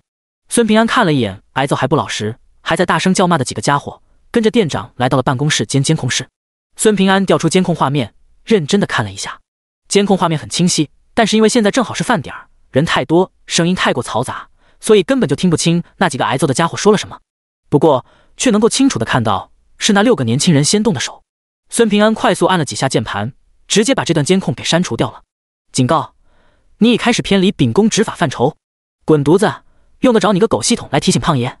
孙平安暗暗对了系统一句：“警察同志。”店长看到孙平安的操作，直接骂了：“删监控，这不是闹吗？要知道，监控画面记录每七天就会覆盖一次，说起来没啥用，但是，一旦发生了失窃、斗殴等案件，监控可是要作为证据使用的。这么随便就给删除掉，这是要犯大错误的。”孙平安却并未停下动作，而是直接对监控系统电脑做了格式化处理。店长直接傻了，你店里的监控出故障了，明白？孙平安认真的对店长说道。明白。店长一副便秘的表情。我明白个毛线啊！我说警察同志，你这么弄不怕被处分吗？还有，你最起码得告诉我这么做是为啥啊？店长寻思着，死也得死个明白吧。这么瞎搞，到时候他也有连带责任的。这几个家伙是樱花国的人，他们刚才在店里用樱花国语侮辱咱们大夏人，别的你听不懂。只拿这个词，你总不会不懂是什么意思吧？这几个逼养的在挨揍的时候，竟然还在辱骂咱们大夏国人，所以孙平安后面的话不用多说了。但凡是个大夏人，就见不得这种事情，因为两国可是世仇、死仇。尤其是当年樱花国的入侵者在东北犯下了耸人听闻的累累罪行，而且至今还不向大夏道歉，甚至不承认那段侵略史，这就让每一个真正的大夏人把这帮小倭寇恨到了骨子里。我明白了。我上次不小心把电脑主机踹坏了，因为店里生意太好了，忙忘了找师傅来修理了。跟警察同志你没有一点关系，也是你要求过来查看监控的时候，我才想起来的。店长显然也是个东北纯爷们，一个简单的借口就把责任全都揽到了自己的身上，把孙平安的责任给摘出去了。孙平安起身拍了拍店长的肩膀，道：“如果你被开了，我负责给你找个新工作，待遇绝对比现在更好。这家店的老板是我亲外甥，他敢把我开了，我踹不死他。”孙平安。东北有个说法叫“娘亲舅大”，当爹当妈的心疼孩子不愿意动手，当舅舅的可没那么多顾忌，大逼斗说上就上。关键是打完之后，孩子爹妈还要感谢孩子舅舅帮忙管教孩子。孙平安和店长离开办公室，前面还没打完呢，还有五分钟。孙平安看了一眼手表，大声的提醒道：“六个年轻人一听这话，顿时明白了，立刻加重了拳脚。你丫不是叫唤吗？那就叫唤的更响一些，反正就算你们叫破喉咙。”也没人来救你们。孙平安站在一旁看热闹，他倒是想要参与进去来着，可身上这身警服却约束了他的行为。乌拉乌拉，警笛声响起。孙平安掐时间掐得很准，五分钟整，支援的警员到达现场。时间到，全部住手！孙平安大声叫道。六个年轻人立刻停手，后退让到了一旁，站在一起，低着个脑袋干什么？都给我挺胸抬头，把刚才动手时的气势给我拿出来！孙平安大声呵斥道。六个年轻人立刻昂首挺胸，跟打赢一场仗的英雄似的。三名警察和警衔一起走了进来，同时进来的还有两名穿着西装、留着小胡子的中年男人。这两个中年男人长了一副亚洲人的面孔，但是一眼就能看出他们根本就不是大夏人，因为大夏人从骨子里就透出来一种光明磊落、自信的气势，而这两个家伙从骨子里透出一种阴险、猥琐劲儿。山田君，两个家伙一进来就撞开前面的警察。快速冲到了角落那五个家伙身旁，这五个家伙模样那叫一个惨，乌眼青、鼻青脸肿，这都是标配了。一个家伙衣服被撕成一块一块的，就连乞丐看到估计都得嫌他丢了丐帮的脸。还有个家伙的胳膊从胳膊肘位置反向弯曲，显然是骨折了。最滑稽的一个家伙，也不知道是谁那么有创意，给他嘴里塞了个汉堡。啥？你说塞汉堡不够滑稽？那要是连着汉堡盒一起塞进去的呢？汉堡盒连着汉堡。卡在这个家伙的嘴里，愣是费了好大力气才拽出来，嘴角都擦破了。哦，忘记说了，还从这家伙鼻孔里拽出来四根薯条，薯条上红色的，也不知道是番茄酱还是血。要不是处处恶心人，看起来还让人挺有食欲的。我是樱花国驻大夏墨龙省领事馆副领事小泉真帅，我要向你们大夏警方提出严正抗议。你们大夏人居然对我们樱花国的公民大打出手，警察在场居然不去劝阻，助纣为虐。孙平安撇了撇嘴。啥破名字？小泉真帅，他倒是认识一位叫小泉真希的老师，少妇范儿，身材贼好。当然，就算是有亲戚关系，胖爷也不会惯着你毛病。抗议，用不用给你脖子上挂个牌子，再给你送到省府办公楼去？孙平安一句话就让小泉真衰怒目而视。这逼养的显然是个大夏通，明白孙平安话中的潜台词。在大夏脖子上挂个牌子，那是狗。小泉真衰正要说话，孙平安就开启了对人模式。抗议！我抗议你麻痹！在我们大夏土地上辱骂我们大夏国民，挨揍都是咎由自取。没打死他们，他们就应该偷笑了。还抗议？你去抗议吧！到时候引发两国民间情绪对立，我看你这个副领事能不能扛得起这个责任？你胡说！山田君他们根本就没有辱骂你们大夏人。一直扮演着小透明角色的那个大夏年轻女人跳出来了。小泉真帅的脸上展现出得意的神色。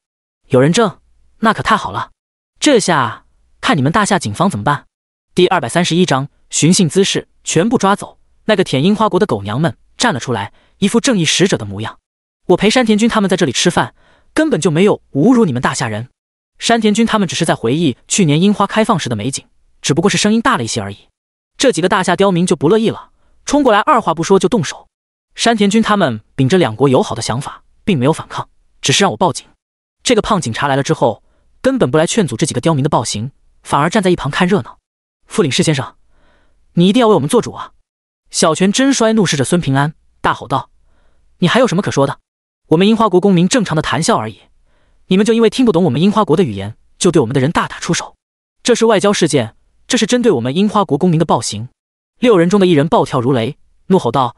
老子是师范大学樱花国语系的高材生，你说我听不懂他们在放什么狗屁？孙平安一把按在这人的肩膀上，胖乎乎的大手仿佛有一种魔力，一下子将这人的愤怒情绪给压了下去。你们的活完事儿了，现在轮到我给你们出头了。孙平安说完后，转身看向了副领事，叽里呱啦，孙平安再次开口，一口地道、流利、纯正无比，绝对堪称教科书级的樱花语，让所有人都愣了一下。副领事先生，请告诉我，指拿是什么意思？我亲耳听到这五个家伙嚣张大叫，在我们大夏的土地上羞辱我们大夏的国民。不，山田君他们没有说这个词。那个樱花舔狗娘们大声反驳道。孙平安瞥了这个娘们一眼，没有多说什么，可却打定主意，绝对不会放过这娘们的。让你丫现在跳得欢，一会有你丫哭的时候。小泉真衰站起身，梗着脖子大声吼道：“你们大夏警方就是这么包庇暴徒，就是这么办案的吗？”后来的三名警察以及警衔面色都很难看。如果打架双方都是本国人的话，骂几句，哪怕骂得再难听，动手一方要负全责。可现在涉及到了外国人，事情就变得麻烦起来。抓六个大夏年轻人，良心上过不去；可是不抓的话，法律上过不去，而且还有可能引发外交事件，那就更麻烦了。小泉真衰看着大夏警察没有动作，越发愤怒。我父亲是樱花国驻大夏总领事馆领事。孙平安上前一步，大声叫道：“领事咋的？今儿个？”我做主，有什么后果我负责。小泉真衰怒视孙平安，大声质问：“你有什么资格负责？”孙平安冷哼一声，大声道：“我有什么资格？我老子是孙兴邦。”小泉真衰愣了一下。墨龙省领事馆副领事对墨龙省领导班子成员自然耳熟能详。孙兴邦是谁？省里的三号人物，省厅一号人物。放在屁大点的樱花国，这个位置相当于防务部长了。就算就算你是孙领导家的公子。也不能徇私枉法。你既然是警察，就应该秉公执法。小泉真衰的气势一下子就弱了，不过他依然大声叫嚣着，毕竟有副领事身份在，代表的是樱花国的脸面。秉公执法，我当然会秉公执法。孙平安冷笑道：“把这五个寻衅滋事的小樱花给我铐回去，分开关押，我来审讯。景家那是大夏警察世家，三观极正。小樱花敢在我们大夏地盘上撒野，不抓你抓谁？”景贤掏出手铐，一把推开小泉真衰。抓住一个小樱花的胳膊，反手一扭，不顾对方疼得哇哇叫，咔嚓上手铐。另三名警察也不惯这小樱花的毛病，上去就把他们给铐了。至于手铐不够用，没事儿，店里不是有打包袋吗？凑合用呗。你们小樱花不是喜欢捆缚吗？今儿个就让你们亲身感受一下。小泉真摔眼珠子滴流乱转，显然没憋什么好屁。可惜孙平安可不会怕了他，想玩，胖爷就陪你玩到底。你们六个。虽然动手是不对的，但是事出有因，也要跟我回警局一趟做笔录。孙平安转身对六名大学生说道，还悄悄地眨了眨眼。是。六名大学生心里有底儿了，大声应道。一辆警用中巴车将所有人都带到了滨城市局。拦住他们，别让他们进审讯室。孙平安低声对景贤叮嘱了一声，大步走进了第一间审讯室。山田青衣面色难看的坐在审讯椅上，姓名。孙平安直接用樱花语进行审讯。哼，在我的律师来之前，我什么都不会说的。山田青一是樱花国一家知名律所的律师，他很清楚法律程序，而且他还是外国公民，所以只要保持沉默，等到大使馆的特派律师来了，基本上就没事了，并且到时候他完全可以反咬一口，控告大夏警方滥权执法。孙平安不屑地撇了撇嘴，起身向山田青一走去。我警告你，你若是敢刑讯逼供，你爸的职位再高，手里的权力再大。我照样要扒了你这层皮！”山田青一开口威胁道，还抬头看了一眼监控镜头。孙平安缓缓走到山田青衣身旁，伸手在山田青衣的肩膀上轻轻拍了一下。这一举动完全没有遮挡监控镜头，完全没有异常的举动。当然，如果大拇指不小心碰到了山田青衣的脖子，总不能说这是在刑讯逼供吧？山田青衣骇然发现自己的身体完全不听使唤了。事情的经过呢？我都清楚。孙平安再次轻轻的在山田青衣的肩膀上拍了一下，下一秒，山田青衣就惊恐的发现一种酥酥麻麻、剧痛无比、根本无法用言语来形容的感觉从身体内传出。咋说呢？就好像是有无数只食人蚁正在从内部疯狂的啃食着他的内脏，贪婪的啃食着他的骨髓。这种疼痛麻痒的感觉，好像是从骨头缝里面、从五脏六腑当中透出来的一样。山田青衣很想放声惨嚎，很想大喊救命，可他除了眼皮子能眨动之外，却连一根小手指都动弹不得，光是疼痛也就罢了，偏偏孙平安的声音却如同从地狱当中传来，直接在他的脑海当中响起一样。你在 KFC 当中用非常恶毒的话语来辱骂我们大夏，虽然你知道错了，但是你依然为你的言行感到后悔，悔不当初，悔恨无比，痛恨自己的言行举止。山田青衣在剧痛中禁不住愣了一下，因为他骇然发现，仅仅是简简单单的一句话，他头脑当中的记忆似乎变得模糊了。一段全新的记忆似乎正在对原本的记忆进行着覆盖，山田青衣的双眼变得迷惘起来。孙平安轻轻地拍了山田青衣的肩膀一下，疼痛感如同退潮一般瞬间消失，身体也一下子恢复了控制。可山田青衣却感觉自己有些迷糊了。孙平安微微一笑，和他第一天实习的时候对人贩子所做的事情类似，但是却绝对不同。对人贩子，点穴术是起主要作用的，而现在点穴术起到的是辅助作用。真正起作用的是他拥有的大师级催眠术，身体上的折磨远没有精神上的折磨来的剧烈。杀人诛心，我先诛心，再杀人。第二百三十二章，犯我大夏者虽远必诛。孙平安重新坐回到了审讯桌后面。姓名：山田青衣。说一下在 KFC 当中的冲突经过，详细一些，不要隐瞒。山田青衣的神色中似乎有最后一丝挣扎，但只是瞬间，这最后一丝挣扎也消失不见。我昨天晚上和几个朋友。一起找乐子，和我们一起的那个年轻女人，还有她的两个朋友，服侍了我们一晚上，而且无论我们要求什么姿势，他们都能够满足我们，所以我们就在聊天的时候羞辱、辱骂、侮辱。监控将山田青衣的话原原本本的记录了下来。孙平安等到山田青衣说完后，起身来到了第二个审讯室，同样的手段施展了一遍。半个小时之后，五个小樱花都统一了口径。孙平安，省厅来人了，大使馆总领事来了，还带来了好多的记者，国内国外都有。压不住了，景贤低声对孙平安介绍了当前的情况。现在的情况对孙平安相当不妙。孙平安憨笑道：“既然拦不住，那就把人带出来，让他们当着所有人的面说清楚吧。咱们一定要秉公执法，不能给警队丢脸啊！”景贤疑惑地看着孙平安，有些搞不懂这胖子的想法了。把人带回来才半个小时而已，这点时间，五个人就算是正常审讯，恐怕都不够用吧？更不要说来的路上那个叫山田的家伙。还提醒同伴一定要等到律师来，否则绝对不能开口。这种负隅顽抗的态度，别说半个小时了，就算是两个小时，怕都问不出什么来。现在有省厅的人，有总领事，有记者在，应该更麻烦，更不好办才对吧？可为什么这胖子看起来那么的镇定呢？小泉真衰看着五个樱花国人走出来，他脸上的得意都快要溢出来了。有驻墨龙省总领事在，樱花国人就有了底气；有省厅的人在，滨城警方就不敢颠倒是非。有记者在，樱花国人受到的委屈就会被无限放大，到时候还能以此向大夏提出赔偿要求，完美。小泉真衰甚至已经看到自己升职加薪，回到国内被国民当成是英雄来对待了。记者朋友们，我要向你们说明这次的情况：我们樱花国的五位公民在就餐时遭到了六名暴徒的袭击，他们并没有还手，但是大夏警方却包庇暴徒，污蔑我国公民。事后发现，就餐店铺的监控已被删除，并且电脑做了格式化处理，这显然是在销毁证据。所以，希望你们能够亲眼看到、亲耳听到我国无辜公民的控诉，为我们主持公道，让全世界人民都看到某些警察是如何徇私枉法的。小泉真衰站出来，一副为正义发声的模样，大声说道。闪光灯在市局大厅中亮成了一片，摄影机、话筒全部准备就绪。小泉真希看向五个同胞：山田君、小卷君，你们不要怕，你们有任何委屈，我们都会为你们主持公道的。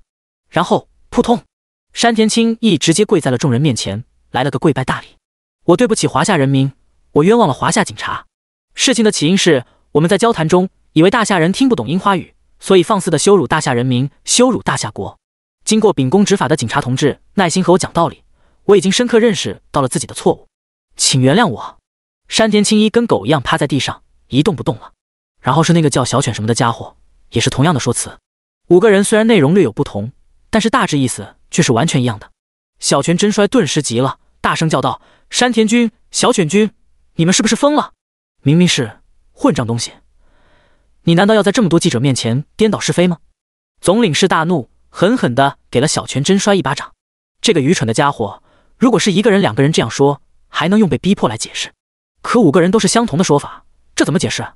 这分明就是事实如此啊！这个时候再去辩解，那简直就是在自己打自己的脸一样。总领事的脸面，樱花国的脸面，难道不要了吗？也就是说，昨天晚上你们五个人找了三个女人一起玩游戏，你们付钱了吗？孙平安看了一眼之前在 KFC 中。疯狂诋毁六个大学生，颠倒黑白的年轻女人提出了一个关键问题：是的，我们支付给这三个女人每人五千块钱。没错，每人五千块。我还承诺会帮助她拿到签证，去我们樱花国留学。孙平安大步走到那个女人面前，朗声道：“你因涉嫌卖淫，请交出通讯设备。你有权保持沉默，但是你所说的每一个字都会作为法庭上的呈堂证供。”女人腿一软，一屁股坐在了地上。对不起，对不起，我错了，我知道错了。饶了我这一次，我再也不敢了。不好意思，你知道的太晚了。除了卖淫的违法行为外，你还涉嫌作伪证。孙平安可不会因为对方是女人就放过他。你堂堂大夏国民，居然跪舔小樱花，这不就是汉奸行为吗？放过你？开什么玩笑？如果道歉有用的话，那还要警察做什么？咔嚓，手铐上万，等着被拘留吧你。这五个小樱花因卖淫嫖娼罪、寻衅滋事罪被拘留十五天，每人罚款五千块。拘留结束后，将会被驱逐出境，并被列入黑名单中，终生不得以任何理由迈入大夏国境线半步。三名卖淫者没收卖淫非法所得，并处以拘留十天，每人罚款五千块。诛心完成。至于六名大学生，不但没有任何过错，反而有功劳，见义勇为，每人奖励一千块钱，还会给学校发函对他们进行表彰。半个月后，五个小樱花被驱逐出境，并且在回国的第一天晚上，集体来到了最热闹的京都街头。让樱花国民们看到了他们肠子肚子的颜色，这就是催眠的力量。诛心之后，杀人完成。犯我大夏者，虽远必诛。三名卖淫者，尤其是那个跪舔小樱花的女人，在登报后，祖宗十八代都被网友给扒了出来。除非他选择出国，否则的话，在大夏是没有他立锥之地了。当然，这都是后话了。任务：秉公执法。宿主顶住压力，维护了公平公正，维护了正义，对得起这一身警服。任务完成，奖励抽奖机会两次，积分一百点，奖励已发放。孙平安的脑海中响起了系统的声音。孙平安愣了一下，他在执法的时候都已经抱着就算是任务失败，也一定要为同胞出头的心思。毕竟在我们大夏的土地上，怎么能让小樱花如此嚣张？再说了，随机被抹除掉五个技能，不过才五百点积分而已。技能没了可以重新买，积分没了可以重新赚。但是如果向小樱花低头了，尊严。良心就没了，这可是多少积分都换不来的。现在看来，这狗系统还是不错的嘛。孙平安决定了，以后少骂狗系统两次。嗯，就两次，不能再多了。毕竟这狗系统扣积分的时候推他马黑了。第二百三十三章，去京城，人在囧途啊。樱花总领事馆内，小泉真衰正全身心沉浸于父亲的手鼓演奏。嗯，手鼓就是小泉真衰的脸。你这个愚蠢的白痴，樱花国的脸面。全都被你给丢了个一干二净。是父亲，都是我的错。还别说，小泉真衰认错态度，那是一个一等一的好。等到父亲消了气，小泉真衰才躬身道：“父亲，我咽不下这口气，但是我不知道应该如何找回颜面，请父亲指点。”小泉蠢三郎想了想道：“我记得冰城和北岛是友好城市。”“是的，父亲。既然是友好城市，那么除了经济文化的交流之外，是不是警队也可以交流切磋一下呢？”强民计划已经实施二十多年了，每天牛奶牛肉吃着，年轻人的体质应该比每天油条豆浆稀饭包子的大夏人体质更强吧？小泉真衰愣了一下。苦着脸道：“可是大夏人的精神比咱们的人更强。如果让北岛的警察来和冰城警察交流切磋的话，恐怕是自取其辱吧。”小泉蠢三郎恨铁不成钢道：“你这个蠢货，难道不能调集全国实力最强的警察冒充北岛警察吗？难道大夏还会调查来进行交流的警察是不是北岛警察？”小泉真衰顿时眼睛一亮，和父亲讨论起这个找回场子的活动细节来。正月十五，吃元宵，放烟花，看花灯。花灯现场，各式各样、大小不等的花灯，将整整三条主街变成了绚丽的海洋。只不过，执勤的孙平安根本就没工夫去看花灯，因为人山人海啊！警察作为维持秩序的主力，从下午三点到凌晨三点，整整十二个小时就没歇过哪怕一分钟，更不要说喝水吃饭了。等到最后一名游客离开，花灯开始拆卸，清洁工开始清理街道。孙平安是嗓子哑的说不出话来，饿得前胸贴后背，累得胳膊都抬不起来。而他不过是当晚执勤的上千名警察的一个缩影而已。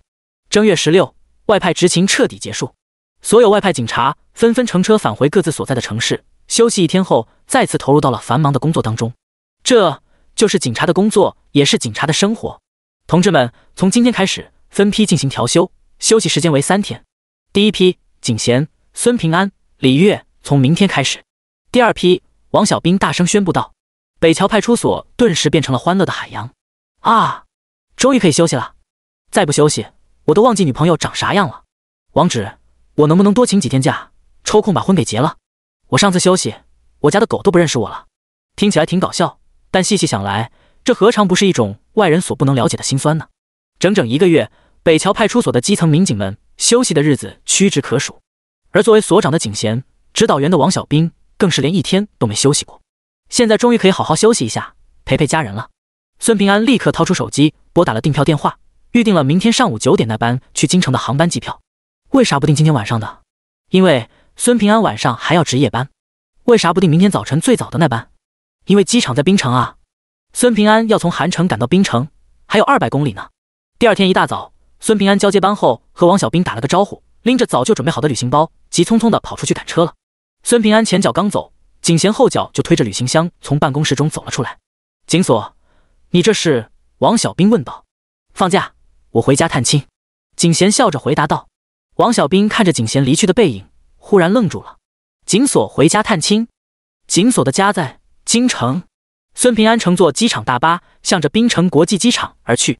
看着窗外飞速后退的风景，一想到再过三个小时就能见到朝思暮想的杨云了，那心情美滋滋的。尤其是一想到杨云见到自己时的惊喜，嘿嘿，就连熬夜值班后的疲倦感。都不翼而飞了。如此好事不抽个奖，岂不是对不起各位观众？系统，我要抽奖一次。孙平安暗呼一声，抽奖开始。恭喜你抽取到王牌飞行员全部专业技能。孙平安一脸懵逼，头顶冒出一连串的大问号。啥玩意儿？王牌飞行员全部专业技能？这玩意儿有啥用？要知道，在大夏，飞机驾驶员证可是最难考的。就算是考出来，去哪儿找飞机给你开去？至于乘坐民航飞机，那就更用不着这技能了。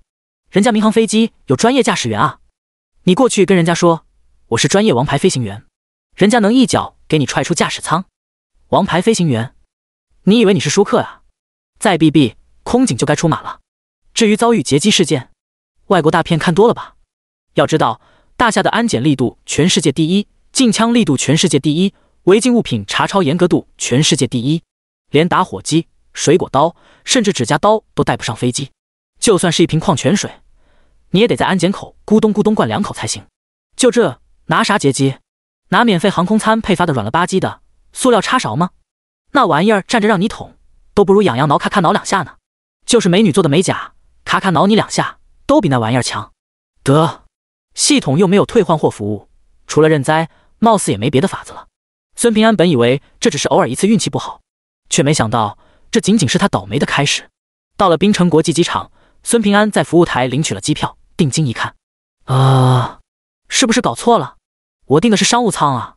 服务台的工作人员一副爱搭不惜礼的样子，懒洋洋的回答道：“我们公司的飞机就没有商务舱，要不你退票去别家航空公司买？退票的话，只能退给你一半。你退票吗？不退票吗？退票吗？”孙平安，你丫唐僧啊！孙平安还是头一次遇到没有商务舱的航空公司呢。要不是他想见到杨云的心太过急切，还真不惯着对方毛病。咋的，胖爷我有钱，难道还不能享受一下了？办理托运手续不？二十块钱一公斤。工作人员瞥了一眼孙平安拎着的旅行包，问道：“嗯？”孙平安再次愣了一下。办理托运不是每张机票对应有二十公斤的免费托运额度吗？工作人员不屑道：“机票那么便宜，再给你免费托运，我们赚什么钱？”孙平安不气不气，登机去。孙平安转身就走，打定主意，回头就打电话投诉这家航空公司。你丫一个服务行业，就这服务态度，就这见缝插针死要钱，早就应该关门大吉了。等到上了飞机，孙平安更郁闷了。大冷天的，机舱内的温度似乎也没比外面高多少，连个暖风都不打。再看位置，那真的是要多挤就有多挤。孙平安的位置在第一排，前面就是驾驶舱，他是费了老半天劲儿才把他的肥腚硬塞进座位中的。两边的扶手就像是一把老虎钳，把他死死地卡在了座位里。孙平安能感觉到自己的大肚子上的赘肉都被挤得像两头窜了。这还不算完，想要系个安全带吧？好不容易把安全带拽出来，往中间一对，我去，还他妈差了十几厘米，不得不向长得跟《西游降魔篇》里面把空虚公子气得差点吐血的大妈一样的空姐要了一根加长带，为此还遭受了一个大大的白眼，因为加长带不要钱。好歹算是把安全带系上了。话说。这空姐不会是航空公司领导他二姨吧？长这样当空姐，你是服务乘客的，还是恶心乘客的？你以为倒霉事儿就结束了？呵呵，很傻很天真。孙平安正郁闷着呢，一股熟悉的香风袭来，扭头一看，孙平安愣住了，真的是不是冤家不聚头。坐在孙平安身旁的，赫然是景贤。第二百三十四章，空姐飞了。嗨，好巧啊，你也去京城啊？景贤笑盈盈的和孙平安打着招呼：“孙平安，我瞧你个大头鬼啊！”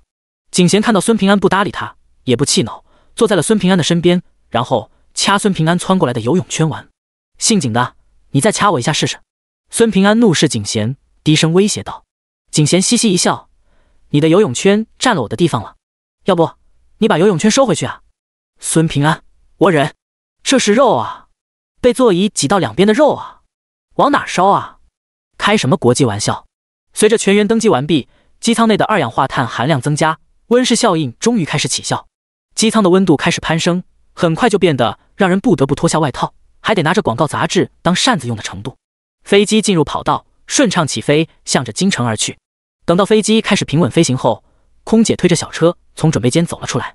果汁、可乐、矿泉水了，鱼片、烧鸡、爆米花了。来，前面的乘客把腿收一下。孙平安听到这熟悉的叫卖声，不禁有些精神恍惚。为毛感觉他坐的不是飞机，而是绿皮火车呢？给我来一瓶矿泉水。景贤道：“矿泉水一瓶十块。”空姐拿起一瓶特常见的矿泉水递了过来，并且给出了报价。景贤愣了一下，飞机上的矿泉水居然还要钱，而且十块钱？黑店宰客吗？就连景区都不敢这么黑啊！这个矿泉水超市两块，如果去批发市场整箱买的话，一瓶连一块钱都不到。这上面不是写着吗？建议零售价两块。空姐翻了个大大的白眼，回答道：“我们不接受建议，十块一瓶，买不买？”景贤气鼓鼓道：“不买。”空姐似乎早就已经习惯了乘客的反应，毫不在意的收回矿泉水，推着车继续往前走。果汁、可乐、矿泉水啦，景贤不买，可买的人却不少。这机舱里热得跟烤箱一样，汗流浃背的，不喝水，下飞机就成木乃伊了。飞机飞行了半个多小时，兴奋劲儿过去了，困意上涌。孙平安眼皮子发沉，不知道什么时候睡了过去。不知道睡了多久，忽然飞机发出了一阵剧烈的颠簸，把机舱内熟睡的乘客惊醒。孙平安感觉胸口有点不太舒服，低头一看，我了个去！景贤靠在孙平安的怀里，正睡眼惺忪，一副娇憨的模样，正冲着他傻笑呢，嘴角还有亮晶晶的口水。孙平安胸口位置湿漉漉的，你搁这儿拿口水给胖爷洗衣服呢？光是这样也就罢了，再往下看，景贤一只手。竟然从孙平安衣服下摆穿了上去，按在了孙平安的胸口，这尼玛就有点过分了。胖爷还没伸出咸猪手呢，居然就被吃豆腐了。还有天理吗？还有王法吗？景贤也感觉到了自己的手所在位置不太对，尴尬的冲着孙平安笑了笑，缩回手的时候竟然还捏了一把。胖子，你的胸好大啊！孙平安，我特么这是遇到女流氓了？这他妈不是废话吗？二百二十斤的胖子，要是光膀子，绝对能让一众飞机场妞羡慕嫉妒恨死。孙平安正准备给景贤点颜色瞧瞧，就看到那名空虚公子侍女模样的空姐，捂着脑袋，踉踉跄跄的冲到驾驶室外，砰砰的砸起门来。你们他妈怎么开飞机的？有你们这么开飞机的吗？把老娘头都撞到了！开门赔钱！众乘客，这空姐没得到里面的回应，越发泼辣叫骂起来。末了，一拧门把手，然后嗖，空姐飞了。准确的说，空姐是被没有了大窗户的驾驶舱给吸出去的。孙平安眼疾手快，一把将差点跟着空姐飞出去的羽绒服给抓了回来。机舱里没有固定的物品，就跟被深渊巨口吸走了一样，嗖嗖嗖的飞进了驾驶舱，不见了踪影。再定睛一看，整个人都懵了。卧槽，这是什么情况？驾驶员呢？驾驶舱中有斑斑点点的血、碎肉、羽毛。主副驾驶位上空无一人。随着空姐飞出去，机舱内的气压平衡被打破，吸力消失，一股狂风疯狂涌入机舱。飞机剧烈抖动起来，就好像下一秒就会散架了一样。行李架门被震开，里面的行李跟下雨一样砸下来。乘客脚边放着的东西则飞了起来。氧气面罩掉落下来，有乘客想要去抓，结果氧气面罩被狂风吹的就像是顽皮的孩子，跟你玩躲猫猫一样，死活抓不到。尖叫声、痛苦哀嚎声、哭嚎声响彻机舱，那叫一个混乱不堪。景贤面色煞白，一半是被动的，一半是被吓的，死死抓着孙平安的胳膊就不撒手了。他这位置靠着过道，等于是正对着从驾驶舱涌入的狂风，自然也能够清楚的看到驾驶舱中的情况。孙平安，我是不是要死了？我是不是真的要死了？景贤带着哭腔在孙平安耳畔大声叫道。孙平安这时候不知道是该感谢这狗系统，还是该把狗系统十八代祖宗挨个问候一遍。抽奖就好好给点奖励，哪怕给个金华火腿也行啊！非要给个王牌驾驶员技能，咋的？狗系统还能未卜先知，知道胖爷我有此一难？是不是没抽到王牌驾驶员技能，就不会遇到这一摊子烂事儿了？真的是倒霉带冒烟的呀！放心，死不了的。孙平安看到景贤悲戚可怜巴巴的小模样，只能安慰一下：“死定了，咱们死定了。”景贤抱着孙平安的脖子，凑到孙平安的耳边哭着说道：“孙平安，临死之前，能不能答应我最后一个要求？”“啥要求？”孙平安愣了一下：“吻我一下，我不想死的时候，连初吻还在。”景贤含情脉脉地看着孙平安道：“孙平安，都他妈这时候了，你还想着要占胖爷我的便宜？”回答景贤的不是孙平安的厚嘴唇子，而是啊！景贤捂着自己的脑门，怒视着孙平安：“这死胖子，竟然给了他一个脑瓜崩！老实坐着，有我在，你死不了。”孙平安一脸严肃的大声说道，然后解开了安全带，比坐下来的时候费了更大的力气，才把自己从座椅上拔了出来。孙平安想了想。用手里的羽绒服把景贤给包裹了起来，老实待着，你绝对死不了。我说的。孙平安说完后，顶着超过四百码的狂风，一步一挪的进入了驾驶舱。啊！孙平安用尽全力将驾驶舱大门拉出来，砰！驾驶舱大门被狂风吹得狠狠关上，也彻底隔断了景贤的视线。